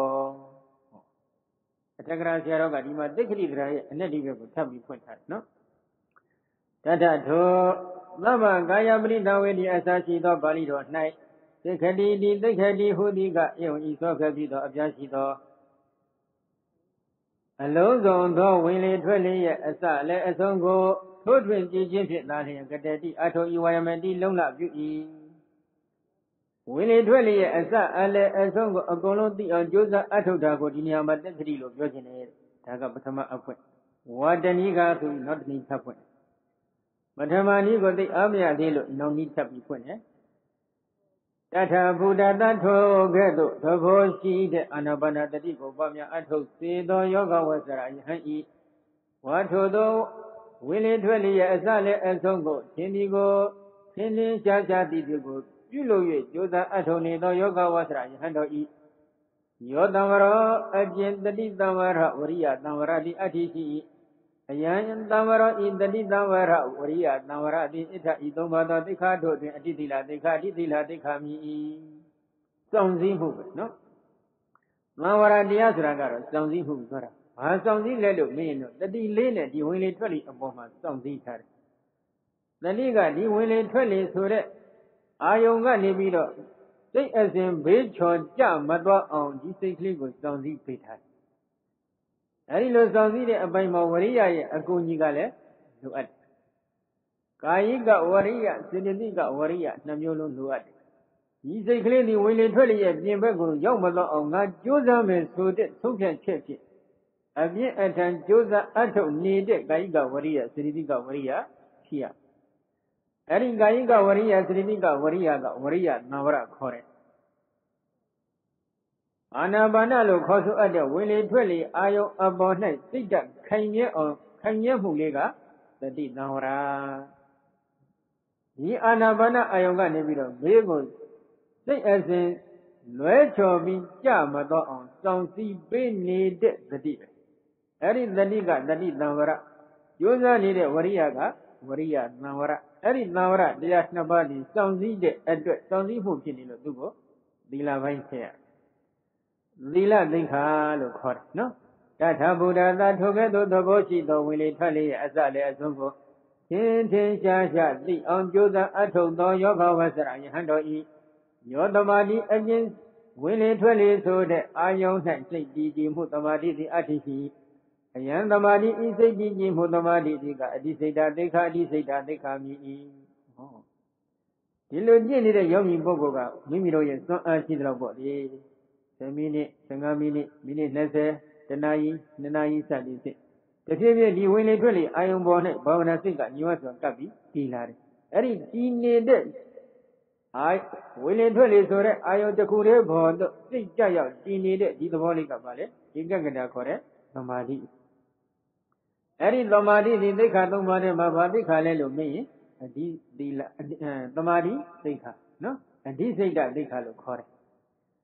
တထဗုဒ္ဓသာထိုကဲ့သို့သဘောရှိသောဝင်လေထွက်လေရဲ့အစလည်းဆုံးကိုသင်တင်ရှားရှားသိအောင်ကြိုးစားအထောက်၍နေသောယောဂဝဆရာယဟန်တော်ဤယာပညာအကျဉ်ဝင်လေထွက်လေရဲ့အစလည်းအဆုံးသုံးပါးဆုံးကိုထွန်းဖော်သိမြင်နေတဲ့ပညာသည်အဋ္ဌိရှိ၏အယံပညာဤပညာသည်ကအတိပညာသိက္ခာတိပညာသိက္ခာမြည်၏အဓိသီလသိက္ခာအဓိစိတ်တသိက္ခာအဓိပညာသိက္ခာဆိုပြီးတော့ သိက္ခာဘယ်နှပါးရှိလဲ၃ပါးအဓိလို့ဒီလိုမှတက်နေတာကရိုးရိုးတမ္မန်ကုသိုလ်မဟုတ်တော့ဘူးသူကရိုးရိုးတမ္မန်ခုနကဘုံညကရိယာဝုထုဆယ်ပါးထဲမှာအကျုံးဝင်နေတဲ့တခြားတခြားဟိုရိုးရိုးတမ္မန်ကုသိုလ်တွေရှိတယ်ဘာဝနာမဟုတ်တဲ့ကုသိုလ်တွေနော်အဲ့ဒီကုသိုလ်တွေတဲ့ကိုတာလုံပြီးတော့ရင့်မြတ်နေတဲ့ကုသိုလ်မျိုးတွေဖြစ်လို့နော်အတိသီလသိက္ခာအတိစိတ်တသိက္ခာအတိပညာသိက္ခာဆိုပြီးဒီခေါ်နေတယ် အထူးသဖြင့်နိဗ္ဗာန်ကိုတာစုထားနေတဲ့ဒါပြည့်စုံနေပဲအဲ့ဒီသိက္ခာတွေကဘာဖြစ်လဲဣတိဣသောဣမတေသောသိက္ခာယောဤသိက္ခာသုံးပါးတို့ကိုတတ်သမီအာရမဏေထိုအာနာပါနဆိုတဲ့အာယုန်၌ကာယတတိယထိုအာနာပါနကိုအာယုန်ပြု၍ဖြစ်ပေါ်နေသောတတိတရားနှင့်ယေနမနာတိကာရေနထိုအာနာပါနအာယုံကို နှလုံးသွင်းခြင်းဟုခေါ်ဆိုအပ်တဲ့တတိပြဋ္ဌာန်းရှိသွားရှိနေတဲ့မနတိကာရတရားနှင့်သတ္တေအတုတကဝသိက္ခတိလက်ကျင်၍နေ၏အာတိဝတိဖိဝ၍နေ၏ဘာဝေတိပွားများ၍နေ၏ဘူလီကရာတိကျိန်ဖန်များစွာအလေးလာပြု၍နေ၏ဣတိဧဝံဤသို့လျင်ဣဒ္ဓဤသိက္ခတိဟူသောအပုပ်၌အထောအ내ကိုတတ်တော်ပေါ်သိရပေ၏ဘာပြောခြင်းလဲမြတ်စွာဘုရားကတဲ့ရှေ့မှာဟောစဉ်နဲ့အခုဟောစဉ်မတူဘူး ခုမှသိက္ခတိတရားလေးနဲ့ရှေ့တုန်းကတော့ရိုးရိုးဒီကဝအတ္တတံတောဒီကအတ္တတမိတိပဇာနာတိရတ္တဝအတ္တတံတောရတ္တအတ္တတမိတိပဇာနာတိလို့ဟောတယ်ရှင်းရှင်းတယ်လို့သိပါတိုးရင်တိုးတယ်လို့သိပါသိအောင်ကျင့်မှာဆိုတဲ့ကျင့်ဆိုတဲ့စကားလုံးကျင့်မှာဆိုတဲ့စကားလုံးမပါဘူးခုဒီမှာကြတော့သဗ္ဗကာယပရိတံဝေတိအတ္တသိတံမိတိသိက္ခတိသဗ္ဗကာယပရိတံဝေတိပတ္တသိတံမိတိသိက္ခတိဟော သိက္ခတိစာလေးနဲ့ကျင့်မှာဆိုတဲ့အထီးဆက်ဟောထားအဲ့ဒီဟောထားတဲ့အတွက်ခုနကလိုအတိသီလသိက္ခာအတိစိတ်သိက္ခာအတိပညာသိက္ခာခေါ်ဆိုအပ်တဲ့သိက္ခာ၃ပါးစုံကြီးအောင်ဒီနေရာမှာကြည်ဖာများစွာအလေးလာပြုပြီးတော့ကျင့်ကြံကြုတ်ကိုပွားများအထောက်ပါလို့ဘုရားရှင်ကတိုက်တွန်းလိုတယ်ဒါကအထက်ကရရဲ့ရှင်းလင်းချက်နော်ဒါကြောင့်တထယတမပုရိမာနိယေကေဝလအတ္တတိတဗ္ဗပတ္တတိတဗ္ဗမေဝနသအဉ္ဉံကိဉ္စိကာတဗံ အရှိအတူပိုင်းကိုလှမ်းကြည့်လိုက်မယ်ဆိုလို့ရှိရင်ရိုးရိုးဝင်လေထွက်လေကိုသိအောင်ကြိုးစားဖို့သာရှိတယ်တခြားတစုံတရာပြုဖို့ကိစ္စမရှိဘူးဣတောပထာယပဏညာနုပါရဏတိတို့ယောဂကရဏီယောဒီချိန်ကအစအလယ်ဆုံးသိအောင်ကြိုးစားတဲ့အပိုင်းကနေစပြီးတော့မလုပ်လဲဉာဏ်တို့ပါဒနာခြင်းတို့ဉာဏ်ဖြစ်ပေါ်ခြင်းစသည်တို့၌ယောဂကြိုးစားအထောက်ခြင်းကိုကရဏီယောပြုတင်ပြုတိုင်လှပေ၏ဒီမှာအတိဉာဏ်သွတ်သွင်းပေးရတော့ ဉာဏ်ဖြစ်အောင်ဒီမှာကြိုးစားရတော့မယ်သမ္မန်လို့ရှေ့တုန်းကလို့ထိုင်ပြီးရှူနေုံလောက်နဲ့တော့မပြီးတော့ဘူးအရှိလေးသိနေုံလောက်အတိုးလေးသိနေုံလောက်နဲ့မပြီးဘူးဘာလုပ်ရမလဲဝင်လေထွက်လေတို့ရဲ့အစအလယ်အဆုံးသုံးပါးစုံကိုသိအောင်ကြိုးစားအထုတ်မယ်ဆိုတဲ့လုံလဝရိယခြံရံပြီးတော့ခိုင်မြဲတဲ့တတိလေးနဲ့ဝင်လေထွက်လေတို့ရဲ့အစအလယ်အဆုံးကိုသိအောင်ကွယ်ကွယ်ပြားပြားသိနေတဲ့ပညာဖြစ်အောင်ကြိုးစားရတော့မယ်နော် အဲ့ဒီလိုကြိုးစားစီခြင်းတဲ့အတွက်မြတ်စွာဘုရားကဟောနေနော်တသမတထအတ္တတမိတိပဇာနာတိပတ္တတမိတိပဇာနာတိစေဝဝဋ္ဌမနာကာလဝတိနပါဠိဝတ္တဝါဣတောပဋ္ဌာယကတ္တပတ္တညာနုပါရဏညာနုပါဒနာတိနောအာကာရတတတနာထသဗ္ဗကယပိသဝေတိအတ္တတိသမိတိအတ္တတိတာမိတိတိအာလိနာနယေနအနဂတဝသေနအနဂတဝသနဝသေနပါဠိအရောပိတာတိဝေတိတဗံ ဦးဇင်းတို့ဒီစကားလေးတွေကြတော့ပါဠိအသွားအလာကိုနားလည်တဲ့ပုဂ္ဂိုလ်တွေကြတော့ချက်ချင်းနဲ့တက်နားလည်လိုက်ပါလိမ့်နော်ဘာပြောနေလဲဆိုတော့ဦးဇင်းတို့နည်းနည်းလေးပါဠိတော်ကိုပြန်နှတ်ထောင်ကြည့်နော်ဒီပထမစရုပ်ကမှာနံပါတ်1ကအရှိနံပါတ်2ကအတူနံပါတ်3ကအစအလယ်အဆုံး၃ခုရှိပြီနော်ဒီ၃ခုကိုခုရှင်းနေတာပြီးတော့နံပါတ်1အရှိပိုင်းမှာဘုရားကဘယ်လိုနည်းပေးလဲအတူပိုင်းမှာဘယ်လိုနည်းပေးလဲ ဒီကံဝအတ္တတံတောဒီကအတ္တတမိတိပဇာနာတိဒီကံဝရှိစွာမူလီအတ္တတံဝင်လေကိုဒီကံဝအတ္တတံတောဒီကံဝရှိစွာမူလီအတ္တတံတောဝင်လေကိုဖြစ်စေသည်ရှိသောဒီကံရှိစွာအတ္တတမိတိဝင်လေကိုဖြစ်စေ၏ဟူ၍ပဇာနာတိကွယ်ကွယ်ပြပြသိ၏သိ၏ဆိုတော့ဘာဝိဘတ်ခေါ်လဲဘာကာလခေါ်လဲပစ္စုပန်ဟုတ်မလားသိ၏ဆိုတော့ပစ္စုပန်ပေါ့နော်အတူမှလည်းထုံနည်း၎င်းပဲ ရတဝအတ္တတံတောရတဝတိုးသောမူလီအတ္တတံတောရတဝတိုးသောမူလီအတ္တတံတောဝိလေကိုဖြစ်စေသည်ရှိသောရတအတ္တတမိတိတိုးသောဝိလေကိုဖြစ်စေ၏ဟု၍ပါဇာနာတိကွယ်ကွယ်ပြပြသိ၏ဟောသိ၏လို့ပဲဟောတယ်ပစ္စုပန်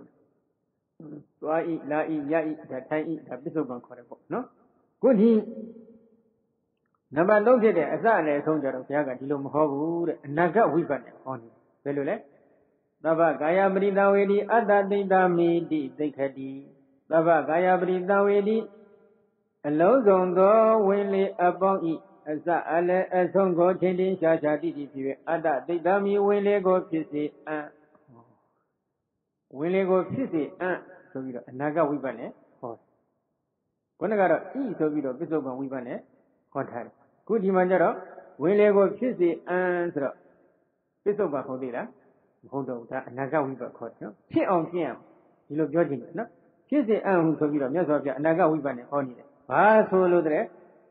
ဒီအစလည်းအဆုံးကိုရှုတဲ့အပိုင်းမှာခုနကပြောခဲ့တဲ့တတိတို့ဝရိယတို့ဉာဏ်တို့ဒီနေရာမှာပူတွေကပ်ပါပြီးရအောင်ကြိုးစားအထောက်ရတော့မယ်။သမ္မာတတိလောက်ကလေးနဲ့မလုံလောက်တော့ဘာရဉာဏ်လဲလို့မေးတော့အစကိုလည်းကွယ်ကွယ်ပြပြသိတယ်။အလဲကိုလည်းကွယ်ကွယ်ပြပြသိတယ်။အဆုံးကိုလည်း ကွယ်ကွယ်ပြပြသိတယ်။အဲ့ဒီသိနေတဲ့ဉာဏ်သိအဲ့ဒီအာယုံပေါ်မှာကပ်ပြီးတည်နေတဲ့တတိသိအောင်ကြိုးစားအထုတ်နေတဲ့ဝရိယအဲ့ဒီတတိတို့ဝရိယတို့ဉာဏ်တို့ဒီနေရာမှာတုံညီလာအောင်ကြိုးစားအထုတ်ဖို့ရန်အတွက်မြတ်စွာဘုရားတိုင်ကျွန်းတော်မူလို့လို့အနာဂတ်ဝိပဿနာမြတ်စွာဘုရားဒီနေရာမှာဟောနေတယ်နော်ဒါကြောင့်ဥဒ္ဒလို့ဒီတဆင့်ပြီးတဆင့်ပို့ပြီးတော့တတိသမာဓိဝရိယတွေအားကောင်းလာဖို့မလိုဘူးလား လိုနေတယ်ရာဝရိယတတိသမာဓိပညာခေါ်တဲ့အိန္ဒိ၅ပါးရင့်ကျက်လာအောင်ဒီအစလည်းအဆုံးဆိုတဲ့အပိုင်းမှာတော့ကျူးစားရတော့အရှိအတော်ပိုင်းမှာယောဂီပုဂ္ဂိုလ်ကအချင်းကြာကြာတမာတိတည်နေတော်လဲနမိတ်ကမပေါ်ဖြစ်နေခဲ့ရင်ဒီအစအလည်းအဆုံးပိုင်းကိုပြောင်းပြရပြောင်းလိုက်တဲ့အပိုင်းမှာတော့နမိတ်မပေါ်မချင်းကတော့ရှင်းတက်လို့မရတော့ဘူးဒီနေရာဟာနမိတ်ပေါ်ရမယ့်အပိုင်းပဲနော် အစအလည်းအဆုံးအပေါ်မှာကွက်ကွက်ပြပြသိလာပြီဆိုလို့ရှိရင်ဘာဝနာစိတ်ကလည်းဒီဝင်လေထွက်လေတို့ရဲ့အစအလည်းအဆုံးသင်္နေကြကြသိပြီးတော့ဒီဝင်လေထွက်လေဆိုတဲ့အာယုံမှာပဲမြင်ဝတ်စွာကပ်ပြီးဒီနေပြီဆိုရင်တော့နမိတ်မပေါ်ပဲမနေဘူးပေါ်ကိုပေါ်တော့နော်အဲ့ဒီလိုပေါ်သည့်တိုင်အောင်ကျင့်ပါလို့သိစေလိုတဲ့အတွက်မြတ်စွာဘုရားကအတ္တသိတ္တမိတိသိခတိပတ္တသိတ္တမိတိသိခတိစသည်ဖြင့်အနာဂတ်ဝိပဿနာနဲ့ဟောတယ်သိခတိကနဲ့လည်းဟောနေတယ်လို့ဒီလိုမှတ်ပါကဲဒါက ပထမစတုကမှာနံပါတ်3ရှင်းပြီးပြီနံပါတ်3ရှင်းပြီးတဲ့အချိန်ခါကျတော့နံပါတ်4ကဘာလဲပတ္တံဘယံကာယသင်္ခါရအတ္တတိဋ္ဌမိတိသိက္ခတိပတ္တံဘယံကာယသင်္ခါရပတ္တတိဋ္ဌမိတိသိက္ခတိလာပြီပတ္တံဘယံကာယသင်္ခါရကာယသင်္ခါရယုံရင်ကြမ်းတမ်းတဲ့ကာယသင်္ခါရဟုခေါ်ဆိုအပ်တဲ့ဝင်လေထွက်လေကို ပတ္တံဘယံငြိမ့်စေလည်းရအတ္တတိဋ္ဌမိဝင်လေကိုဖြစ်စဉ်ဣတိဤသောသိက္ခတိကြည်ဟောဒီမှာလည်းသိက္ခတိထားနေလားအနန္တဝိပဿနာပဲဟောကာယသင်္ခါရယုံဤကျန်သောကာယသင်္ခါရကိုပတ္တံဗျံပတ္တံဗျံတော်ငြိမ့်စေခရဲ့ပတ္တတိတာမိထွက်တဲ့လေကိုဖြစ်ခြင်းဣတိဤသောသိခတိจิตဤယုံရင်ကျန်တန်နေတဲ့ဝင်လေထွက်လေကိုငြိမ့်သွားအောင်ငြိမ့်သက်သွားအောင်ငြိမ့်သွားအောင်ကျင့်ပါငြိမ့်သက်တာကတစ်မျိုး ငြိမ့်တာကတစ်မျိုးနှစ်မျိုးရှိနော်အတိပ္ပယ်နှစ်မျိုးလုံးဒီမှာပါနေတယ်နော်ဒါကြောင့်ဒီနေရာမှာဘာအထက်ကရာကဘယ်လိုဖွင့်ထားလဲပတ္တံဗျံကာယသင်္ခါရအတ္တတိတမိတိသိခတိပတ္တံဗျံကာယသင်္ခါရပတ္တတိတမိတိသိခတိတိဩလာရိကံကာယသင်္ခါရပတ္တံပင်တောပฏิပတ္တံပင်တောနိရောဓင်တောဟူပတမင်တောအတ္တတိတမိပတ္တတိတမိတိသိခတိဘာပြောလဲ ဩလာရိကံသဝတ္တံဗျံကာယသင်္ခါရအတ္တတိတမိတိသိခတိပတ္တဗျံကာယသင်္ခါရပတ္တတိတမိတိသိခတိတိသိခတိဟူသည်ကားဩလာရိကံယုံရင်ကြမ်းကြသောကာယသင်္ခါရဝင်လေထွက်လေဟုခေါ်ဆိုအပ်တဲ့ကာယသင်္ခါရကိုပဒံပင်တော်ငြိမ့်စေလျက်ပฏิပဒံပင်တော်တဖန်ငြိမ့်စေလျက်ဝုပသမင်တော်အထုငြိမ့်စေလျက်ဤတော်တင်တော်ချုပ်စေလျက်ချုပ်တော်အောင်ကိုကျင့်ရ ကျန်လာအောင်လုပ်ရမလားတဖြည်းဖြည်းသိမ့်ပွဲနုညံပြီးတော့ချုပ်တော်အောင်ကျင့်ရမလားချုပ်တော်အောင်ကျင့်ရငြိမ့်တော်အောင်ကိုကျင့်ရဟုတ်တယ်မလားထုတ်စေလည်းရဲ့အတ္တတိဋ္ဌာမိဝင်လေးကိုဖြစ်စေအပတ္တတိဋ္ဌာမိထွက်လေးကိုဖြစ်စေဣတိဣသောသိက္ခတိကျင့်ဤဒီလိုဆိုလိုတာတဖြည်းဖြည်းညီဝင်လေထွက်လေရုံရင်းကြမ်းတဲ့နေတဲ့ဝင်လေထွက်လေတွေကိုငြိမ့်အောင်ငြိမ့်တဲ့ငြိမ့်အောင်နောက်ဆုံးချုပ်သွားအောင်ကျင့်ပါလို့ဒီလိုဆိုလိုတယ်နော်ကဲ ဘယ်လိုငြိမ့်တယ်လဲဘယ်လိုချုပ်တယ်လဲဒီပိုင်းလေးမှာတော့အထက်ကရာဆရာတော်ကအသေးစိတ်ပြီးဖွင့်ထားပါတယ်နော်ငြိမ့်ပုံချုပ်ပုံနဲ့ပတ်သက်ပြီးတော့ဒုက္ခမသိမ့်ဝဲနုညံ့ပုံအပိုင်းလေးတွေကိုတစ်စက်နဲ့တစ်စက်ဖွင့်ထားတယ်။တချို့တချို့ယောဂီပုဂ္ဂိုလ်မှာဝင်လေထွက်လေကိုစပ်ပြီးမသိချင်းခြင်းမှာကာယောသစိတ်တင်းစတတရထဟွန်ဒီဩလာရိကာကာယတွေကိုစိတ်ကြီးကိုနော်ကာယဆိုတာကတော့ ကာယောဇာကရဇကာယတိလည်းကောင်းစိတ်တင်းစစိတ်တိလည်းကောင်းတတရထပင်မင်းရှိကုန်ဒီဩလာရိကာယောရင်ဉာဏ်ကုန်ဒီဟွန်ဒီဖြစ်ကြကုန်ဤဒီလိုရှင်းထားနော်ကာယဆိုတာကတော့ကရဇကာယကရဇကာယလို့ခေါ်ဆိုအပ်တဲ့ခုနကကံစီဥဒုအာရခေါ်တဲ့အကြောင်းတရားလေးပါးကြောင့်ဖြစ်ပေါ်နေတဲ့ယုတ်တရားတွေနဲ့ယုံကြည်ကြမ်းတမ်းနေတဲ့စိတ်ကလည်းယုံကြည်ကြမ်းတမ်းတယ်ဆိုလိုတာကဒီကာယတွေကိုအဖေပြုပြီးဖြစ်ပေါ်နေတဲ့ဝင်လေထွက်လေဟာလည်းခက်ကြမ်းကြမ်းပဲရှိတယ်စိတ်တွေကလည်းပူပန်မှုတွေရှိနေသေးတယ် ပူလောင်နေသေးတယ်အေးချမ်းမှုသိပြီးတော့မရသေးဘူးစထိုင်စဖြစ်နေနော်နောက်ကာယစိတ်တနဩလာရိကတိအဥပဒတိအတ္တတပတ္တတပိဩလာရိကဟွန်တိဘလဝတရဟုတ်တော်ဝဘုတန္တိနာတိကနာဘဟောတိမုခေနအတ္တတန္တောပိပတ္တတန္တောပိဒိဋ္ဌတိဒီတော့ကရဇကာယကယုံရင်ကျမ်းနေမယ်ပူပန်စိတ်ကလည်းပူပန်နေမယ်ဆိုလို့ရှိရင်ဘာဖြစ်တတ်လဲကာယစိတ်တနကာယစိတ်တတို့၏ဩလာရိကတိယုံရင်ကျမ်းခြင်းသည် ယုံရင်ကျမ်းခဲ့သည်ရှိသောအဥပတန္တေမငိဧကတိရှိသောအတ္တတပတ္တတပိဝင်လေထွက်လေတို့သည်လည်းပဲဩလာရိကယုံရင်ကျမ်းကြကုန်သည်ဟွန်ဒီဖြစ်ကြလေကုန်၏ဘလဝတရာအလွန်အလွန်အကောင်စွာဟုတ်တော်ဖြစ်၍ကိုတတ်သည်ဖြစ်ပေါ်၍နေတတ်ကြကုန်၏ရူပကာယဒီကလည်းပူပန်မှုရှိမယ်နာမကာယခေါ်တဲ့စိတ်ကလည်းပူပန်မှုရှိနေမယ်ဆိုရင် ကိုယ်ရင်စိတ်တွေဘုရားကရူပကာယနာမကာယတွေကယုံရင်ကြမ်းတမ်းနေတဲ့အတွက်မငြိမ်သက်တဲ့အတွက်ကြောင့်ဝင်လေထွက်လေတွေဟာလည်းယုံရင်ကြမ်းတမ်းလာတယ်အလွန်အားကောင်းပြီးတော့နေတတ်တယ်နာတိကနဘဟောတိနာတိကနှခေါင်းတို့ဒီနာဘဟောတိမဆန့်လေကုန်နှခေါင်းတော့မဆန့် နာတိကနှခေါင်းဒီနာဘောတိမဆန့်မုခေနာဗဇဖြင့်အတ္တတန်တော်ဖြင့်ဝင်တဲ့ကြိုက်သည်ဖြစ်၍၎င်းပတ္တတန်တော်ဖြင့်ထွက်တဲ့ရှုသည်ဖြစ်၍၎င်းတိဋ္ဌိတိတည်ရ၏နှခေါင်းနဲ့တော့အသက်ရှုလို့မဝတဲ့အတွက်ဘာဖြစ်လဲပါဇက်နဲ့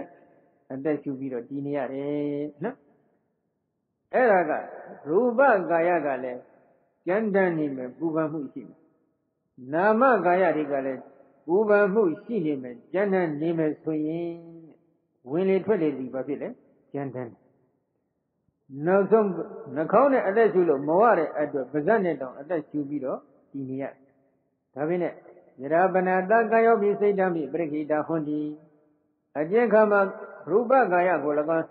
စိတ်ကို၎င်းဉာဏ်နဲ့ပိုင်းခြားပြီးယူနိုင်ပြီသိသိနိုင်ပြီနော်သိသိလိုက်တဲ့အချိန်ခါမှာဘာဖြစ်လဲတရားတေတန္တဟွန်တိဥပတန္တတရားထိုခါ၌ေ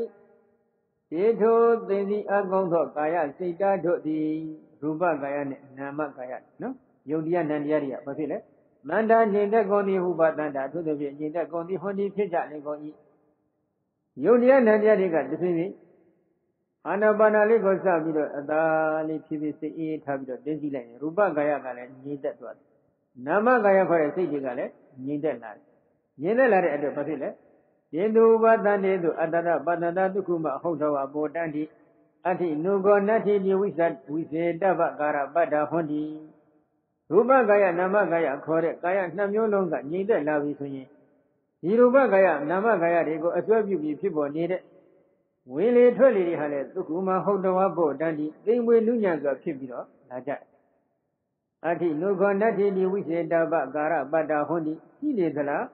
မရှိဘူးလားလို့ဒီလိုစူးစမ်းဆင်ခြင်ရမယ်အခြေအနေထိရောက်သွားတယ်ဟောဝင်လေထွက်လေတချို့ကမထင်ရှားတော့ဘူးဗျာဆိုပြီးတချို့ယောဂီတွေလမ်းလမ်းလျှောက်ကြဒီဘန်းပြောတဖြည်းဖြည်းသိမ့်ဝိတ်လာနော်ဘာနဲ့တူလဲလို့မင်းရင်တော့ယောက်ျားတစ်ယောက်ပြေးတယ်တောင်ပေါ်ကနေဆင်းလာတယ်ခေါင်းမှလည်းဝန်တော့ဝန်ဘိုးကြီးအကြီးကျယ်ထမ်းပြီးတော့တောင်ပေါ်ကနေဆင်းပြီးပြေးလာနော်ပြေးလာတဲ့အချိန်ကကြတော့တောင်အောင်လည်းရောက်တော့ဘာဖြစ်လဲခေါင်းပေါ်ကအထုပ်ကြီးပြစ်ချလိုက် ပြစ်ချပြီးတော့တီးနေလိုက်မတ်တရပြီးနေလိုက်တဲ့အချိန်ခါမှာဘာဖြစ်လဲဒီပုဂ္ဂိုလ်အသက်ရှူတာဘယ်လိုဖြစ်နေလဲဟောဟဲဟောဟဲနဲ့အသက်ရှူနေရပြီသိမောလာတော့နော်နှခေါင်းနဲ့အသက်ရှူတာဆန့်နေလားမဆန့်တော့မဝတော့ဘူးပါဇက်ကနေပြီးတော့အသက်ရှူရတဲ့အဖြစ်ရပ်ပြီးနေရဒါပေမဲ့တစ်ချိန်ခါမှာဒီပိမမှုတွေကိုပဲဖြောက်ပြီးတော့ရေချိုးလိုက်တယ်ရေတွေတောက်တယ်ရေတောက်ပြီးတဲ့အချိန်ခါမှာရေချိုးလို့ရေလဲပစိုးပိုင်းအစိုးလေးကိုပေါ့နော် ရင်ဘတ်ပေါ်တင်းအေးတဲ့သူမကြီးတူအောက်မှာသွားပြီးတော့ပက်လက်နှံအိတ်အိတ်ပြီးတော့ရင်ဘတ်ပေါ်မှာဒီအိုးပစိုးအစုံလေးတင်ပြီးတော့အနားယူပြီးတော့အပန်းပြေသွားတဲ့အချိန်ကကြတော့မဖြစ်လဲထိုပုဂ္ဂိုလ်ရဝင်လေထွက်လေတွေဒီဘာဖြစ်လာလဲသိမ့်မွေ့သွားတယ်နော်သိမ့်မွေ့နုညံလာတဲ့အချိန်ကမှဒီဝင်လေထွက်လေတွေဟာရှိနေသလားမရှိနေသလားလို့စူးစမ်းဆင်ခြင်တိုက်တဲ့အခြေအနေထိရောက်သွားတယ်နော်ဒါကြောင့်ဒီယောဂီယဟန်ပါလေဒီတိုင်းပဲရှေ့တုန်းက ဒီဝင်လေထွက်လေကိုညာနဲ့ပိုင်းခြားမယုံမီမသိသိနှံပြီးရှိအခင်ခါတော့ကဝင်လေထွက်လေတွေဟာယုံကြည်ကျမ်းတာဖြစ်ခြင်းဖြစ်မှာရူပကာယကလည်းပူပန်နေမယ်နာမကာယခေါ်တဲ့စိတ်အစဉ်တွေကလည်းပူပန်မှုတွေရှိခြင်းရှိတယ်ဒါပေမဲ့နောက်ပိုင်းဝင်လေထွက်လေကိုသိသိလိုက်တဲ့အချိန်ခါမှာတဖြည်းဖြည်းဉာဏ်တွေကရင့်ကျက်လာလို့ကိုယ်ပဲပြောပြသိလာပြီဆိုလို့ရှိရင်ရူပကာယတွေကလည်းပူပန်မှုမရှိတော့ဘူး နာမကာယကလည်းအေးချမ်းလာတယ်တစ်ဖြည်းဖြည်းအဲဒီလိုအေးချမ်းလာတဲ့အချိန်ခါမှာဝင်လေထွက်လေတွေဟာလည်းတစ်ဖြည်းဖြည်းသိမ့်မွေ့နူးညံ့လာတယ်ရှိလေသလားမရှိလေသလားဆိုတော့ပြီးတော့ရွေးချယ်စင်စစ်ရမယ်အခြေအနေအထိတောင်ရောက်သွားတယ်ဘာဖြစ်လို့လဲတတဟိတပုပ္ပေအပရိကိတကာလေဩလာရိဩလာရိကောလာရိကေကာယသင်္ခါရေပတ္တပတ္တံဘေမိတိအဘောကသမနာဟာရမဏတိကာရပစ္စဝခန္ဓာနတ္တိ ပရိကိတကာလေပဏအတ္တိအဲ့ဒါလေးကသိအရေးကြီးပါတယ်နော်ဒါဝိသုဒ္ဓိမေအထက်ကရာပထမရဲဇာမျက်နှာ160ခုမှပြောနေတဲ့စကားပဲဘာဖြစ်လို့လဲယောဂီပုဂ္ဂိုလ်ကပြည့်ရခင်အခါကတရားအမထုတ်ခင်အပိုင်းမှာဒီဝင်လေထွက်လေတွေကိုသိမ့်မွေ့အောင်နူးညံ့အောင်ကြိုးစားအထုတ်မယ်ဆိုတဲ့နှလုံးသွင်းဓာတ်ခံမရှိဘူးတရားအထုတ်လိုက်ပြီးဝင်လေထွက်လေအာနာပါနကမ္မဋ္ဌာန်းအထုတ်လိုက်ပြီဆိုတဲ့အချိန်ကကြတော့သူ့မှာနှလုံးသွင်းကရှိနေတယ် ဒီဝင်လေထွက်လေတွေကိုငါဒီတစ်ဖြည်းဖြည်းသိမ့်မွေ့အောင်နူးညံ့အောင်နှလုံးသွင်းရမယ်ဆိုတဲ့နှလုံးသွင်းဓာတ်ခံဆင်ញင်စူးစမ်းမှုလေးသူ့မှာရှိနေတယ်ဒါကြောင့်တရားဝင်လေထွက်လေအထုတ်ပြီဆိုရင်ငါခက်ကြမ်းကြမ်းအသက်ရှူမယ်ဆိုတဲ့စိတ်ထားမျိုးထားရမလားမိန်မွေ့တော့အောင်အသက်ရှူမယ်ဆိုတဲ့စိတ်ထားမျိုးထားရမလားမိန်မွေ့အောင်အသက်ရှူမယ်ဆိုတဲ့ဒီစိတ်ထားလေးပထမထားရနော်နှလုံးသွင်းဓာတ်ခံရှိရအဲ့ဒီလိုရှိလိုက်တဲ့အတွက်ဘာဖြစ်လဲ ဒေနန္တအပရိကိတကာလတော့ပရိကိတကာလေကာယသင်္ခါရောဒုက္ခမောဟောတိဒါကြောင့်မသိသိမိအပိုင်းနဲ့သိသိပြီးတဲ့အပိုင်းနှစ်ခုကြည့်လိုက်မယ်ဆိုလို့ရှိရင်မသိသိခင်မှာဝင်လေထွက်လေတွေကယုံကြည်ခြင်းနဲ့အာနာပါနကိုလှမ်းပြီးညာနဲ့သိသိလိုက်တဲ့အချိန်ခါကျတော့ဘာဖြစ်လဲဝင်လေထွက်လေသည်တစ်ဖြည်းဖြည်းသိမ့်မွေ့လာတယ်နုညံ့လာတယ်အဲဒီလိုနုလနုညံ့လာတဲ့အတွက်ကြောင့်ရှေ့ရှေ့အထက်ကရာဆရာတော်များကဒီနေရာမှာပါအမိတ်ရှိတယ် သာရတိကာယင်စိတ်တေဇအတိမတံပဝတတိအသာရဓမ္မိကာယမိဒုက္ခမတံပဝတတိဒါကတော့ရှင်းရှင်းဝီလိအထက်ကရာမှာလာတဲ့စကားကိုဝိသုဒ္ဓိမေအထက်ကရာဆရာတော်ကသူ့ရဲ့ဝိသုဒ္ဓိမေအထက်ကရာထဲမှာထည့်ပြီးပြထားတာပါနော်။ဘာပြောလဲ။ကာယေသရူပကာယတိ၎င်းစိတ်တေသစိတ်ဟုခေါ်ဆိုအပ်တဲ့နာမကာယတိ၎င်းတရတိပူပန်ခြင်းရှိလတ်သော အဒီမတံလွန်ကဲယုံရင်ကြမ်းတမ်းကြအကုန်သောကာယသင်္ခါရဝင်လေထွက်လေဟုဆိုတဲ့ကာယသင်္ခါရဒီပုတ္တိဖြစ်ပေါ်၍နေပေ၏ကာယမိရူပကာယတိ၎င်းစိတ်တေသအတိစိတ်ဟုခေါ်ဆိုအပ်တဲ့နာမကာယတိ၎င်းအတရဓမ္မိပူပန်ခြင်းမရှိလတ်သောဒုက္ခမံတိမ်မွေနုညံ့သောဝါတိမ်မွေစွာသောဒုက္ခမံတိမ်မွေနုညံ့သောဝါတိမ်မွေစွာကာယသင်္ခါရော ကာယသင်္ခါရဟုခေါ်ဆိုအပ်တဲ့ဝင်လေထွက်လေသည်တန်ဖို့တတိကောင်းစွာဖြစ်ပေါ်၍လာပေ၏ရူပကာယနာမကာယနှစ်ခုကပူပန်ခြင်းရှိနေခဲ့မယ်ဆိုရင်ဘာဖြစ်လဲလွန်ခဲ့နေတဲ့ယုံရင်ကြမ်းတတ်တဲ့ကာယသင်္ခါရဝင်လေထွက်လေဖြစ်တယ်။ဘူပန်မှုမရှိဘူးငြိမ့်အေးသွားပြီဆိုလို့ရှိရင်တော့တိမ်မွေနုညံ့တဲ့ကာယသင်္ခါရခေါ်တဲ့ဝင်လေထွက်လေဖြစ်နေလိမ့်မယ်ဆိုပြီးဒီလိုရှင်းထားတယ်။ဒါကြောင့်ဥစ္စာတို့ ဝင်လေထွက်လေခပ်ပြင်းပြင်းကြီးဖြစ်နေပြီဆိုရင်တော့ဒီပုဂ္ဂိုလ်ရဲ့တဏ္ဍာမှာရူပကာယနာမကာယနှစ်မျိုးလုံးဒီပူပန်နေပြီဆိုတာကဘေးကနေအကက်ခတ်လို့မရဘူးလား။ရနေတယ်။ဒါဖြင့်ရူပကာယမပူပန်တတ်လားလို့မေးကြတော့ရှိတယ်ပေါ့လေ။ဆိုလိုရင်းကတော့နာမကာယဖြစ်တဲ့စိတ်ကြီးရဲ့သိပြီးပူပန်မှုကြောင်းကြမှုတွေအတုံလာတဲ့အခါမှာသီရိဇာယုတ်တွေကလည်းပူလောင်မှုတွေကုဆက်သွားတယ်စိတ်ကအေးချမ်းရင်အေးဓာတ်တွေကုဆက်တယ်လို့စိတ်ကပူလောင်လာပြီဆိုရင်လည်းအပူဓာတ်တွေကယုတ်ပြီးကုဆ က်သွားတယ်သီရိဇာယုတ်တွေကဒီကုလုံးပြန့်နှံ့သွားတော့ထိုအပူဓာတ်တွေဒီကျန်နေတဲ့စတုဇယုတ်တွေကာမဇယုတ်ဥရဇယုတ်အာရဇယုတ်တွေအထိပြန့်နှံ့ပြီးကုဆက်ပြီးသွားတယ်အပူဓာတ်တွေကူးလာဒီကကြီးတွေဒေါသဖြစ်တဲ့အချိန်ကကြည့်ပေါ့သိပြီကြီးကြီးကျယ်ကျယ်ဒေါသဖြစ်လာရင်ဒီဒေါသအချိန်ကြောင့်အသားတွေဆက်ဆက်တုံပြီးကိုယ်တွေပူမလာဘူးလားပူလာတတ်အပူဓာတ်တွေကူးသွားတယ်အလားတူပဲရာဂတွေသိပြီးပြင်းထန်လာပြီဆိုရင်လည်းရာဂမိလောင်ပြီဆိုလို့ရှိရင်လည်းရာဂ အပူချိန်နေတာဒီကုလုံးပြန့်ထွက်သွားတဲ့အဲ့ဒီသဘောကိုပြောနေတာဒါကရူပကာယနာမကာယကခက်ထန်ကြမ်းတမ်းပြီးပူပန်လာပြီဆိုလို့ရှိရင်တော့ရူပကာယနာမကာယကိုအမိပြုပြီးဖြစ်ပေါ်ရမယ်ဝင်လေထွက်လေဟာလည်းဖြစ်လာတယ်ကျန်တန်လာတယ်ရူပကာယနာမယကာယတွေကတိမ်မွေ့လာပြီဆိုလို့ရှိရင်တော့ဘာဖြစ်လဲရူပကာယနာမကာယကိုအမြင်ပြုပြီးဖြစ်ပေါ်ရမယ်ဝင်လေထွက်လေဟာလည်းတိမ်မွေ့လာတယ်ဆိုပြီးတော့ဒီလိုရှင်းထားနော် အဲ့ဒီတိမ်မွေ့ဘုံနဲ့ပတ်သက်ပြီးတော့အထက်ကရာဆရာတော်ကအသိဉာဏ်တိမ်မွေ့ဘုံလေးကိုဆက်ပြီးတော့ဝိသုဒ္ဓိမေအထက်ကရာပထမတော့ဇံမျက်နှာ260ခုမှာဆက်လက်ဖွင့်ဆိုထားပါတယ်နော်ဒီတော့ဝင်လေထွက်လေကိုမသိကြည့်ခင်အပိုင်းမှာယုံကြည်ကျမ်းတဲ့ဒါပြည့်နဲ့ပရမဇန်တမာတိဥပဇာရပရမဇန်တမာတိရဲ့ဥပဇာရဉာဏ်ကြီးအတွင်းချင်းရောက်သွားလို့ဥပဇာရတမာတိဉာဏ်ကြီးရောက်ပြီဆိုရင်တော့သိမ့်ဝေသွားပြီ ဒီတော့ပရမဇန်တမာတိမဆိုင်ခင်ဥပဇာရတမာတိဉာဏ်ကြီးရောက်ပြီဆိုရင်တော့သိမ့်ဝေပြီအဲ့ဒီပရမဇန်တမာတိဥပဇာရဉာဏ်ကြီးမှလည်းကျမ်းတဲ့နေသေးတယ်ဟောပရမဇန်ကြိုင်တော့ပိုးပြီးတော့သိမ့်ဝေသွားတယ်တခါပရမဇန်မှာပရမဇန်မှာပဲကြည့်ကြည့်ပရမဇန်အခိုက်မှာပဲကြည့်ကြည့်ပရမဇန်ကနေပြီးတော့ဒုတိယဇန်ကူတော့ဒုတိယဇန်ရဲ့ဥပဇရသမာဓိအခိုက်မှာပဲကြည့်ကြည့်အဲ့ဒီမှာကျမ်းတဲ့နေသေးတယ်ဒုတိယဇန်ကျတော့ပို့ပြီးတော့သိမ့်မွေ့သွားတယ် တခါဒုတိယဇန်နဲ့တတိယဇန်ရဲ့ဥပဒုတိယဇန်ကနေဆက်လက်တက်လိုက်တော့တတိယဇန်ထိုက်အောင်ကြိုးစားပြီးကြိုးစားတဲ့အပိုင်းမှာဒုတိယဇန်အခိုက်မှာရော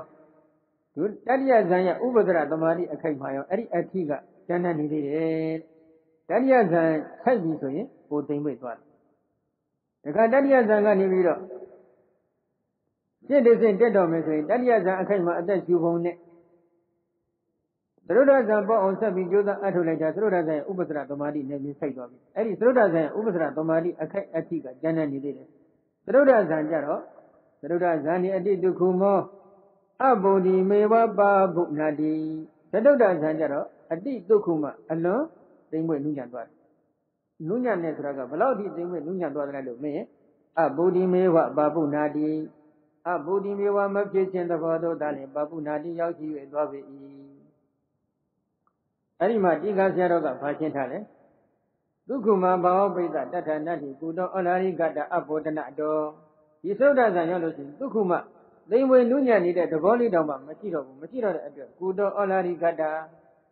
ယုံရင်ကျမ်းတဲ့သဘောဘယ်လိုလုပ်ရှိတော့မလဲသိမ်မွေ့တဲ့သဘောတောင်မှဒီသုဒ္ဓဇံကမရှိတော့ဘာဖြစ်လို့လဲအဘောဒနာတော်ဒီနေရာမှာဝင်လေထွက်လေကသုဒ္ဓဇံရောက်ရင်ဖြစ်ကိုမဖြစ်တော့တဲ့အတွက်ဒါကမှတ်ကြောက်ပဲ ဒါကြောင့်မိမိတို့ဟာဥပကဧကဂတာခေါ်တဲ့သုဒ္ဓဇံသမာဓိစိုက်မစိုက်ကိုယ့်ဟာကိုယ်အကဲခံရမယ်ဤစနစ်တစ်ခုပဲအသက်ရှူနေသေးတယ်ဆိုရင်တော့မိမိဒီဥပစရဉာဏ်ကြီးလောက်တော့ရောက်ချင်းရောက်မယ်ဒီသဘောခံမှန်းလို့ရတယ်လုံးလုံးအသက်မရှူတော့ဘူးဆိုလို့ရှိရင်တော့ဒါ